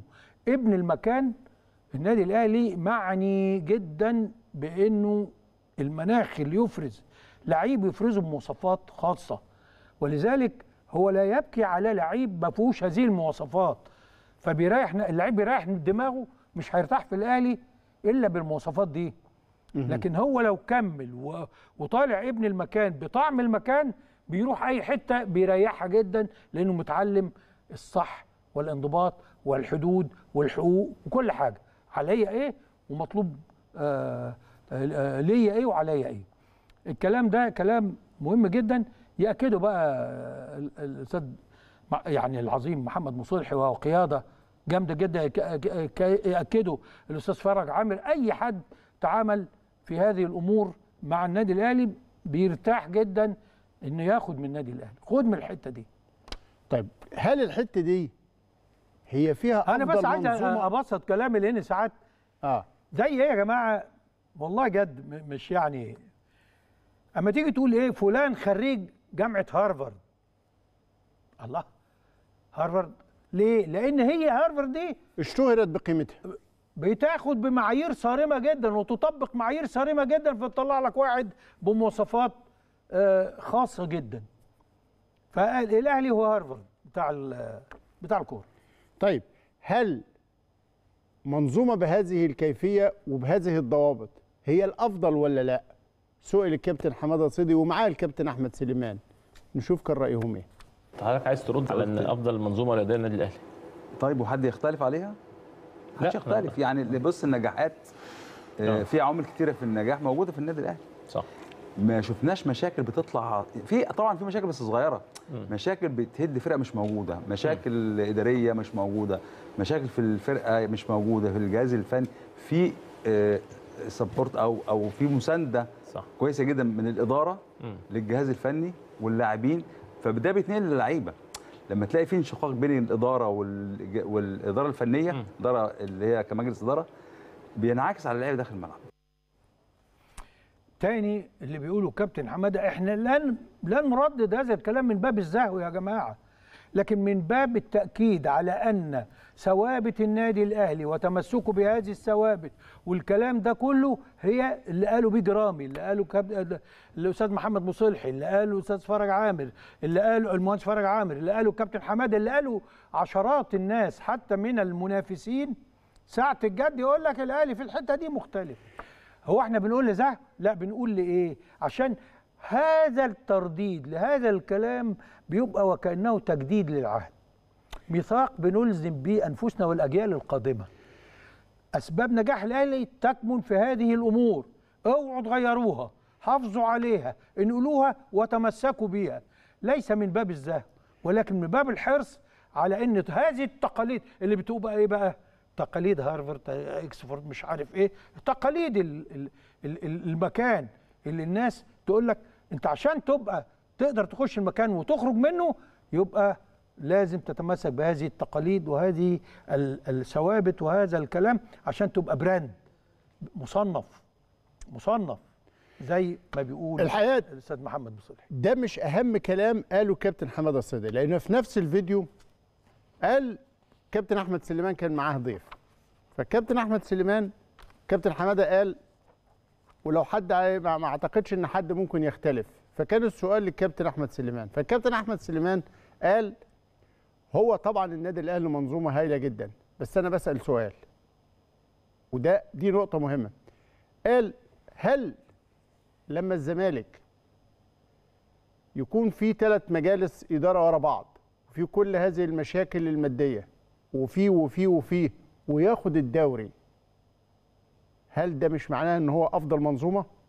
وهل لما النادي الأهلي في كل هذا الاستقرار وكل هذه ال- الإمكانيات ويخسر الدوري. مش ده سؤال؟ الحقيقة ده طرح مهم جدا. قالوا الكابتن أحمد سليمان كنا نتمنى أو كنت أتمنى يبقى موجود في الفيديو لأنه لا بما ان كابتن حمادة جاوبوا عليه يعني. حمادة الصدقي قال له وفي النهاية هيبقى ده رأيك. وده اللي أنا عايز أقوله للجمهور. ما تنزعجش من حد بيقول رأيه لأنه أي حد يقول رأي. وممكن معلش يا باشمهندس. يقول رأي. هو شايف إن منظومة الأهلي أو شايف بس خلينا إحنا يكون لينا الحق في إن إحنا نناقش هذا الرأي. ليه؟ هو النادي الأهلي بمنظومته اللي الكابتن حمادة بيتكلم عليها والحاج محمد مصلحي بيتكلم عليها خسر الدوري. آه خسر الدوري. أو أفقد الدوري لأن كلكم تابعتوا الأسباب اللي الأهلي بسببها خسر الدوري. بس في المقابل لو حطيت الدوري كقيمة أو كمعيار للاختبار في كفة وبطولة دوري أبطال أفريقيا في كفة. وبطولة كأس العالم للأندية في كفة. النجاحات اللي النادي الأهلي لأنه الكابتن حمادة صدقي قال له قال له ما الأهلي إذا كان شارك في سبع بطولات ما كسب ستة. فأنت إزاي اخترت مفردة واحدة حكم؟ رغم ما في هذه المفردة من تفاصيل الناس كلها شاهدة عليها. لكن الأهلي باستقراره وبمنظومته وبقدراته حقق سبع ست بطولات من سبعة. يعني نتيجة السيزون بتاعه 6 واحد. أعتقد ده معيار كافي جدا للنجاح يا كابتن أحمد. لكن لو عايز تتكلم في الدوري كمفردة لوحدها لا فيها كلام كتير قوي. طيب أستاذ إبراهيم تاني وتالت وعاشر و... دائما يحاسب النادي الأهلي على ما يفقده من بطولات وليس ما يفوز به. فلما تيجي تقول لي الأهلي باستقراره وبقوته خسر الدوري. آه. إحنا بنعتبرها مصيبة. كونك تعتبرها مصيبة إن أنا أفقد بطولة هذا اعتراف منك إن أنا أستحق كل البطولات. أيوه. فيوم ما أخسر بطولة إن أنا آخد بتتكلم كل في ده انت. خسرت بطولة. أيوه. روح يا خايبة اللي جبت 99% ها؟ فأنا الواحد في المية بتاعتي دي ولا العشرة في المية بتاعتي دي أهم من ال 99 بتوعك. مم. هذا معيار غريب جدا وما يعديش. ما يعديش الكابتن أحمد سليمان قيادة رياضية ها؟ وممكن نلاقيه على قمة آه، آه، أي مؤسسة. فإذا كان بيفكر إن اولا الزمالك نادي كبير جدا ولا يجب أن يعني يقيم إنه كسب الدوري. المفروض إن الزمالك كل شوية بيكسب الدوري. كل فترة من الفترات يعني. فده مش إنجاز جديد. ولكن يفوز إمتى بالدوري عندما يصبح الأهلي في هذه الحالة؟ حالة الإنهاك حالة الاستنزاف حالة الاستهداف. الاستهداف. طبعا كان آه. مستهدف في الدوري مش عايز أملاقش. طبعا. إنما بطولة ال- السوبر دي بطولة آه، آه، يعني هنقعد نتكلم فيها إنك أنت يبقى استحواذك حاجة و70% وبعدين تيجي آه، يعني وردة وردة إنك أنت ما تح... ما تجيبش جوان وارده إنك تخسر بضربات الجزاء. ما هياش يعني ما هي ما يصحش تفقدها لأن بالمعايير الطبيعية لو أنت في حالتك كنت هتفوز. رغم استحواذك ورغم لكن أنا بتكلم على الدوري. الدوري طبعا كلنا آه، مش معنى إن أنت كسبت الدوري إنك تيجي تقول لك يبقى هو المنظومة الأفضل عشان بكل مشاكله قدر يكسب الدوري. طب ما أنت بقالك بكل اللي فات ست سنين ما كسبتش الدوري. طب أنت وحش ولا حلو؟ يبقى أنت الست سنين اللي فاتوا ما كنتش المنظومة الأفضل. فبعد ست سنين في النص أما تبقى المنظومة الأفضل في وجهة نظرك عشان كسبت الدوري ده معيار غريب جدا لا يليق بقيادة رياضية إنها تح- تحطه في الحسبان في تقييم الأمور. أهو كلام اتقال كان واجب المناقشة فيه. نطلع لفاصل وبعد الفاصل هنشوف من هم أغلى من الذهب عارفين ما تخافش على الأهلي ليه؟ ما تخافش على الاهلي لأنه كل هذه السنوات الطوال يتأكد انه طريق النادي الأهلي دائما وابدا وفي كل العصور مضاء ب الشموع الحمراء. الشموع الحمراء اللي بيستنير بيها كل جيل بعد جيل عشان يوصل بالاهلي للمكانة والقيمة اللي أنتوا بتستمتعوا بيها. عشان كده أعتقد كان هناك كلام مهم في رموز أغلى من الذهب.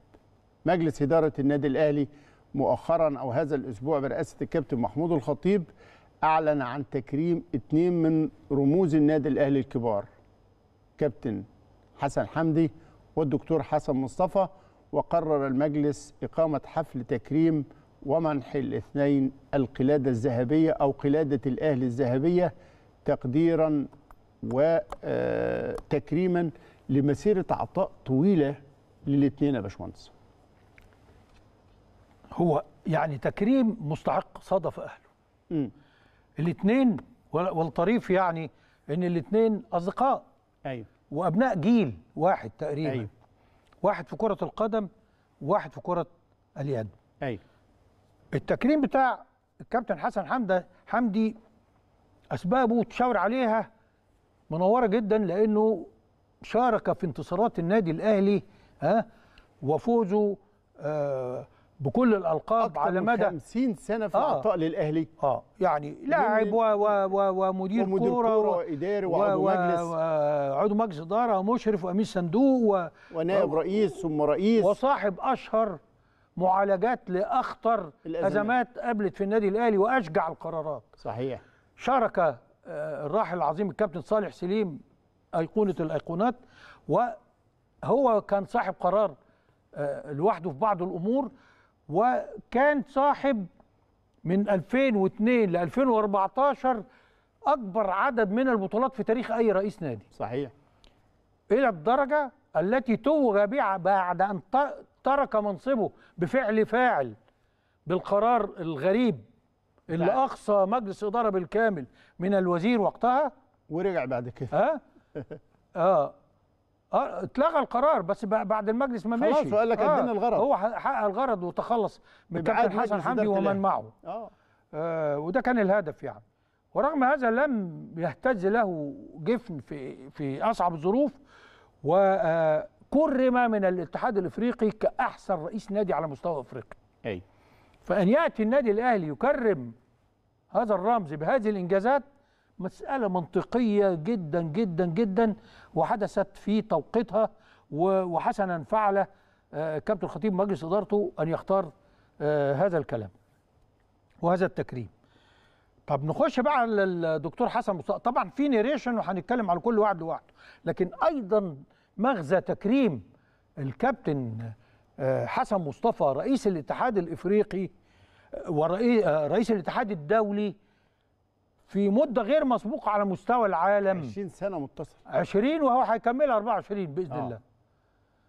آه بشكل متصل مش متقطع. آخر مرة بالتزكية يعني خلاص الناس بقى إيه بصمت له بالعشره ما فيش غيرك لحد ما إيه ال- آه، الأمور كابتن حسن مصطفى تكريمه معناه أن النادي الأهلي يقدم الكوادر.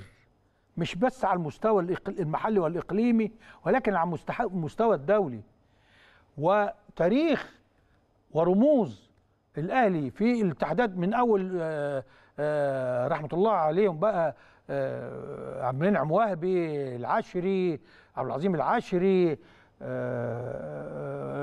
ربنا يديله الصحة الكابتن عبد العزيز الشافعي.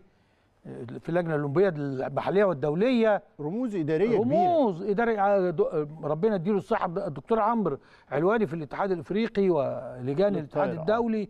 آه، آه، هذا كلام معناه أن النادي الأهلي يزخر بالكوادر والرموز الناجحة التي ليس لا تثري على المستوى المحلي ولكن على المستوى الإقليمي والدولي. يجي كابتن حسن مصطفى بقى الكومي أو الواد اللي بيقش هو اللي عنده من الألقاب والمدد والنجاحات كرئيس الاتحاد الدولي رقم غير مسبوق وما زال ربنا يديله و ويمتعه بالقدرة على العطاء وصاحب البصمة في تطوير كرة اليد ونشرها على المستوى العالمي ثم افريقيا تجد إن الجزائر كانت ثم مصر وتونس حاليا ثم مصر حاليا آه هذا معناه إيه؟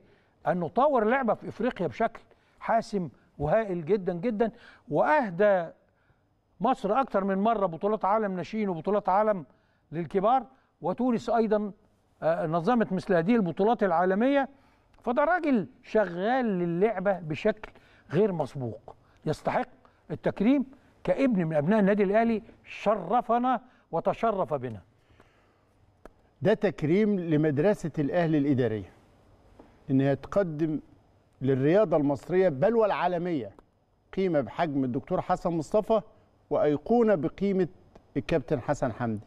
وزير الدفاع عن حقوق ومصالح وهيبة وتقاليد النادي الأهلي كابتن حسن حمدي متعه الله بالصحة والعافية والسعادة.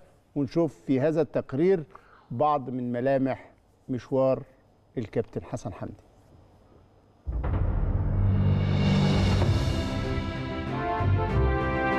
10 ياردة اللاعب يقدر يلعب فيهم الكورنر طالع حسن حمدي بيطلع من إيده. الرابعة قدام. إنما مش سايبه حسن حمدي.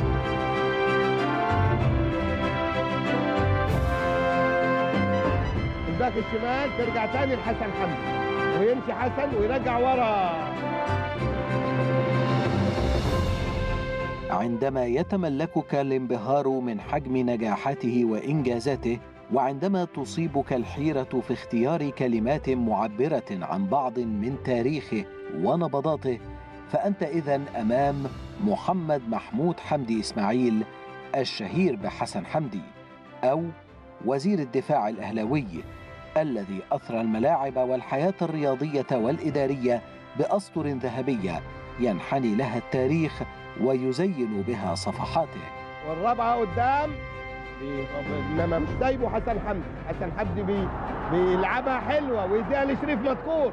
ولد الكابتن حسن حمدي في الثاني من أغسطس عام 1949 والتحق بقطاع الناشئين لكرة القدم بالأهلي عام 1962 وتم تصعيده للفريق الأول موسم 71-72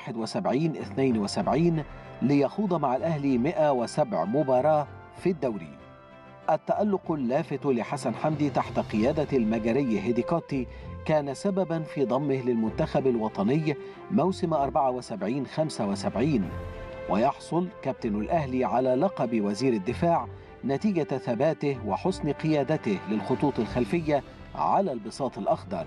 12 ياردة اللاعب يقدر يلعب فيهم الكورنر طالع حسن حمدي بيطلع من ايده ويدي إبراهيم عبد الصمد وابراهيم عبد الصمد بيحلق عليه الباك الشمال ترجع تاني لحسن حمدي. ويمشي حسن ويرجع ورا إلى عصام. ربما لم يمنح القدر حسن حمدي وقتا كافيا لمواصلة مسيرته الإبداعية في الملاعب حين حكم عليه بالاعتزال المبكر في سن 28 عاما بسبب الإصابة. إلا أن القدر ذاته كان يدخر له مسيرة إدارية تفيض بالإنجازات والنجاحات غير المسبوقة. بدأت المسيرة الإدارية لوزير دفاع الأهلي بتولي منصب مدير الكرة في السابع عشر من يونيو عام 1979 كأصغر من شغل هذا المنصب على صعيد كافة الأندية المصرية.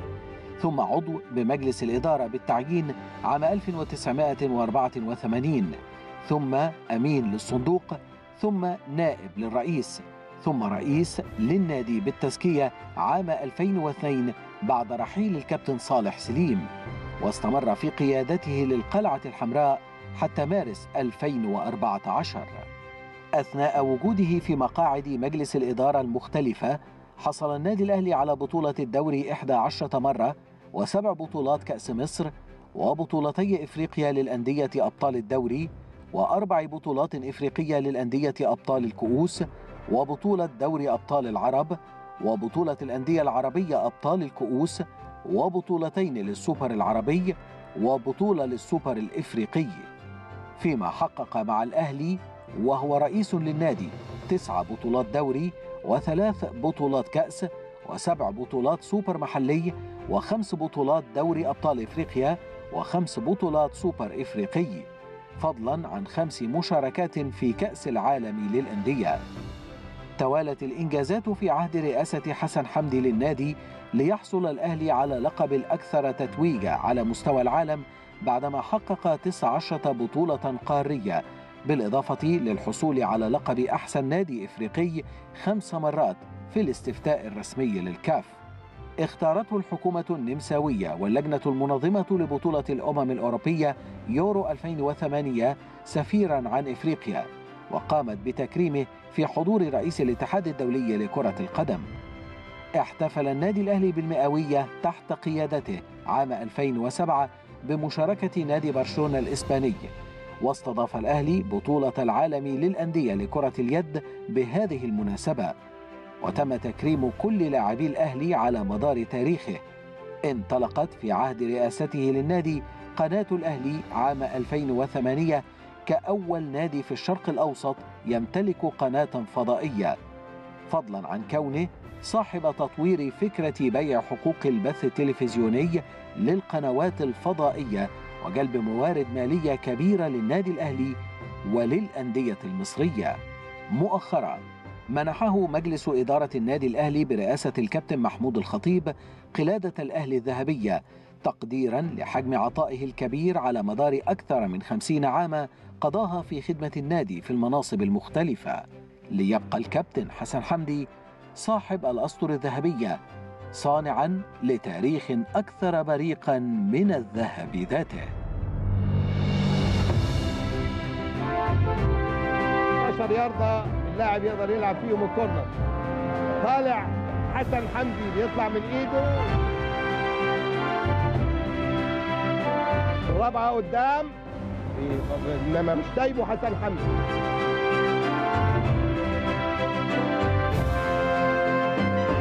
الباك الشمال ترجع تاني لحسن حمدي. ويمشي حسن ويرجع ورا.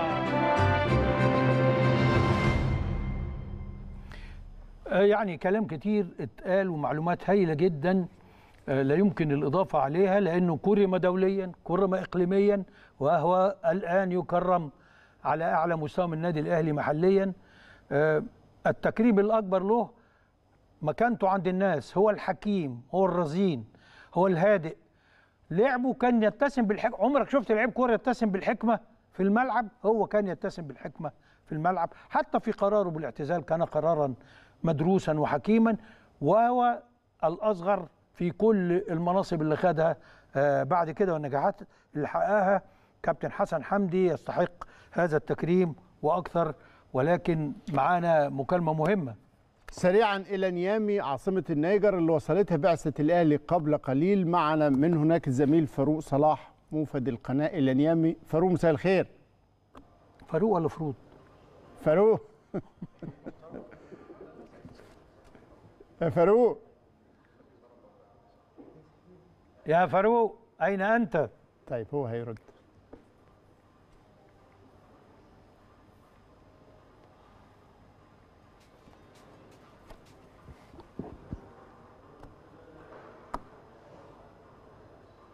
في مشكلة ولا إيه يا جماعة؟ الديلي هيبقى كتير كده لكنه ال- ال- البعثة وصلت بحمد الله ووصلت للفندق وتم التسكين. والكابتن سيد عبد الحفيظ رئيس البعثة. فاروق. فروض يا جماعة الوقت يداهمنا. طب لحد ما تنقلوا له إنه يخش يدينا الأخبار بسرعة في دقيقة ولا دقيقتين كده ها؟ وهنكمل إحنا. الحديث بقى عن الشموع الحمراء ورموز الاهلي الكبار. طيب ده ده كان الكابتن حسن حمدي. آه. ما يمثله من اتزان وحكمة وفراسة ورباطه جأش عند مواجهة الأزمات وصدق في التصدي. طيب الدكتور كابتن حسن حمدي تقدر وانت بتناقشه تشوف فيه النادي الأهلي. النادي الأهلي بتقاليده. في أي اجتماع كنا نناقش حاجة لو اتطرحت حاجة يقول لك حتى في المجلة. لا بس الأهلي ما يعملش كده. لو كده ما نبقاش الأهلي. الم- ال- المرجعية والمسطرة اللي. جواه النادي الأهلي. إزاي النادي الأهلي كل واحد بطريقته يا أستاذ إبراهيم وإزاي طبعاً. النادي الأهلي يجب ان هو يتصرف كده؟ هو هو شوف جواه مسطرة. إفراز خريج مدرسة هارفارد الكورة. بالظبط. خريج مدرسة الأهلي الإدارية اللي طبعاً. كمان أدت الرياضة المصرية والعالمية. نموذج بقيمة الدكتور حسن مصطفى. اللي استحق من مجلس إدارة النادي الأهلي أن يمنحه قلادة الأهلي الذهبية تقديرا لهذا العطاء الكبير جدا للرياضة المصرية والعالمية. إحنا بنتكلم على واحد يا جماعة وصل لرئيس الاتحاد الدولي من سنة 2000 لغاية النهارده. ست دورات متتالية ينتخب فيها الدكتور حسن مصطفى بنجاح كبير. اللجنه الأولمبية المصرية تقريبا من سنة كانت كرمت الدكتور حسن مصطفى. وتحدث الدكتور أشرف صبحي وزير الشباب والرياضة ومنحت اللجنة الأولمبية المصرية وقتها الرئاسة الشرفية مدى الحياة للدكتور حسن مصطفى أيضا تقديرا وتثمينا لمسيرته الكبيرة. وقتها في ملك وكتابة ناقشنا هذا التكريم المستحق نفكر حضراتكم بيه. ودي القيم الرياضية الحقيقية. والقيم الرياضية الحقيقية اللي تجلت بالأمس في حفل تكريم رائع. نظمته اللجنة الأولمبية المصرية برئاسة المهندس هشام حطب دعت إليه وزير الشباب والرياضة الدكتور أشرف صبحي وحشد كبير من رموز الحركة الرياضية كان بينهم الكابتن حسن حمدي رئيس النادي الأهلي السابق وصديق الدكتور حسن مصطفى طبعا أحد رموز الرياضة المصرية ورموز النادي الأهلي كمان. الحفل كان تكريما للدكتور حسن مصطفى اللجنة الأولمبية المصرية منحته الرئاسة الشرفية مدى الحياة تسابق الدكتور أشرف صبحي والمهندس أشرف آه، هشام حطب والحضور في الكلام عن ما يستحقه الدكتور حسن مصطفى. جانب من هذا الحفل ثم الحديث عن هذه القيمة الرياضية الكبيرة المحتفى بها.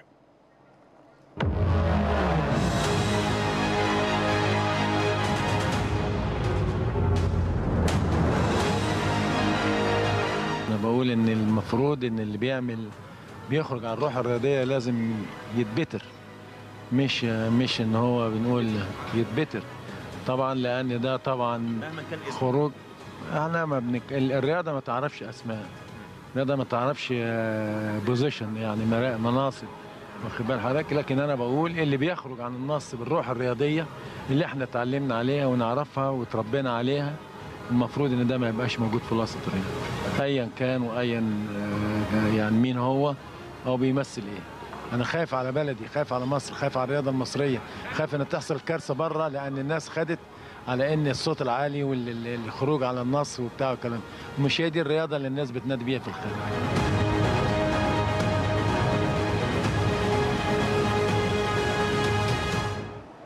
لمثل هذه الآراء الجريئة القوية والمواقف الثابتة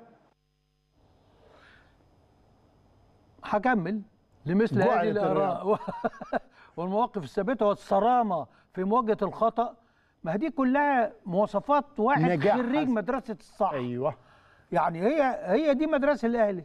عدم التغاضي عن الخطأ. مهما أصل اللي الخطأ الصغير اللي بتفوته بيكبر وبيبقى عادة بعد كده. وبعد كده بتقدر تيجي تعمل خطأ لا يمكن إصلاحه. ده اللي كنت بقوله في البداية. ما ما فيش حاجة اسمها انك انت تبرر لي أو تلم من ورايا. خطأ. لم من ورايا وانت بتعلمني وانت بتحاسبني وانت و و و وكان الكابتن صالح يقول لك كل واحد له ثلاث اخطاء عندي. أكتر من كده تبقى ادمان خطأ. ما ينفعش. ما تنفعش تبقى موجود. أيوه. فهذه قيم الرجال الكبار اللي بيكرموا النهارده. وعلى فكرة برضه كابتن آه، حسن مصطفى كرم بإطلاق اسمه على أحد الصالات، وده آه. تكريم لو. تعلم.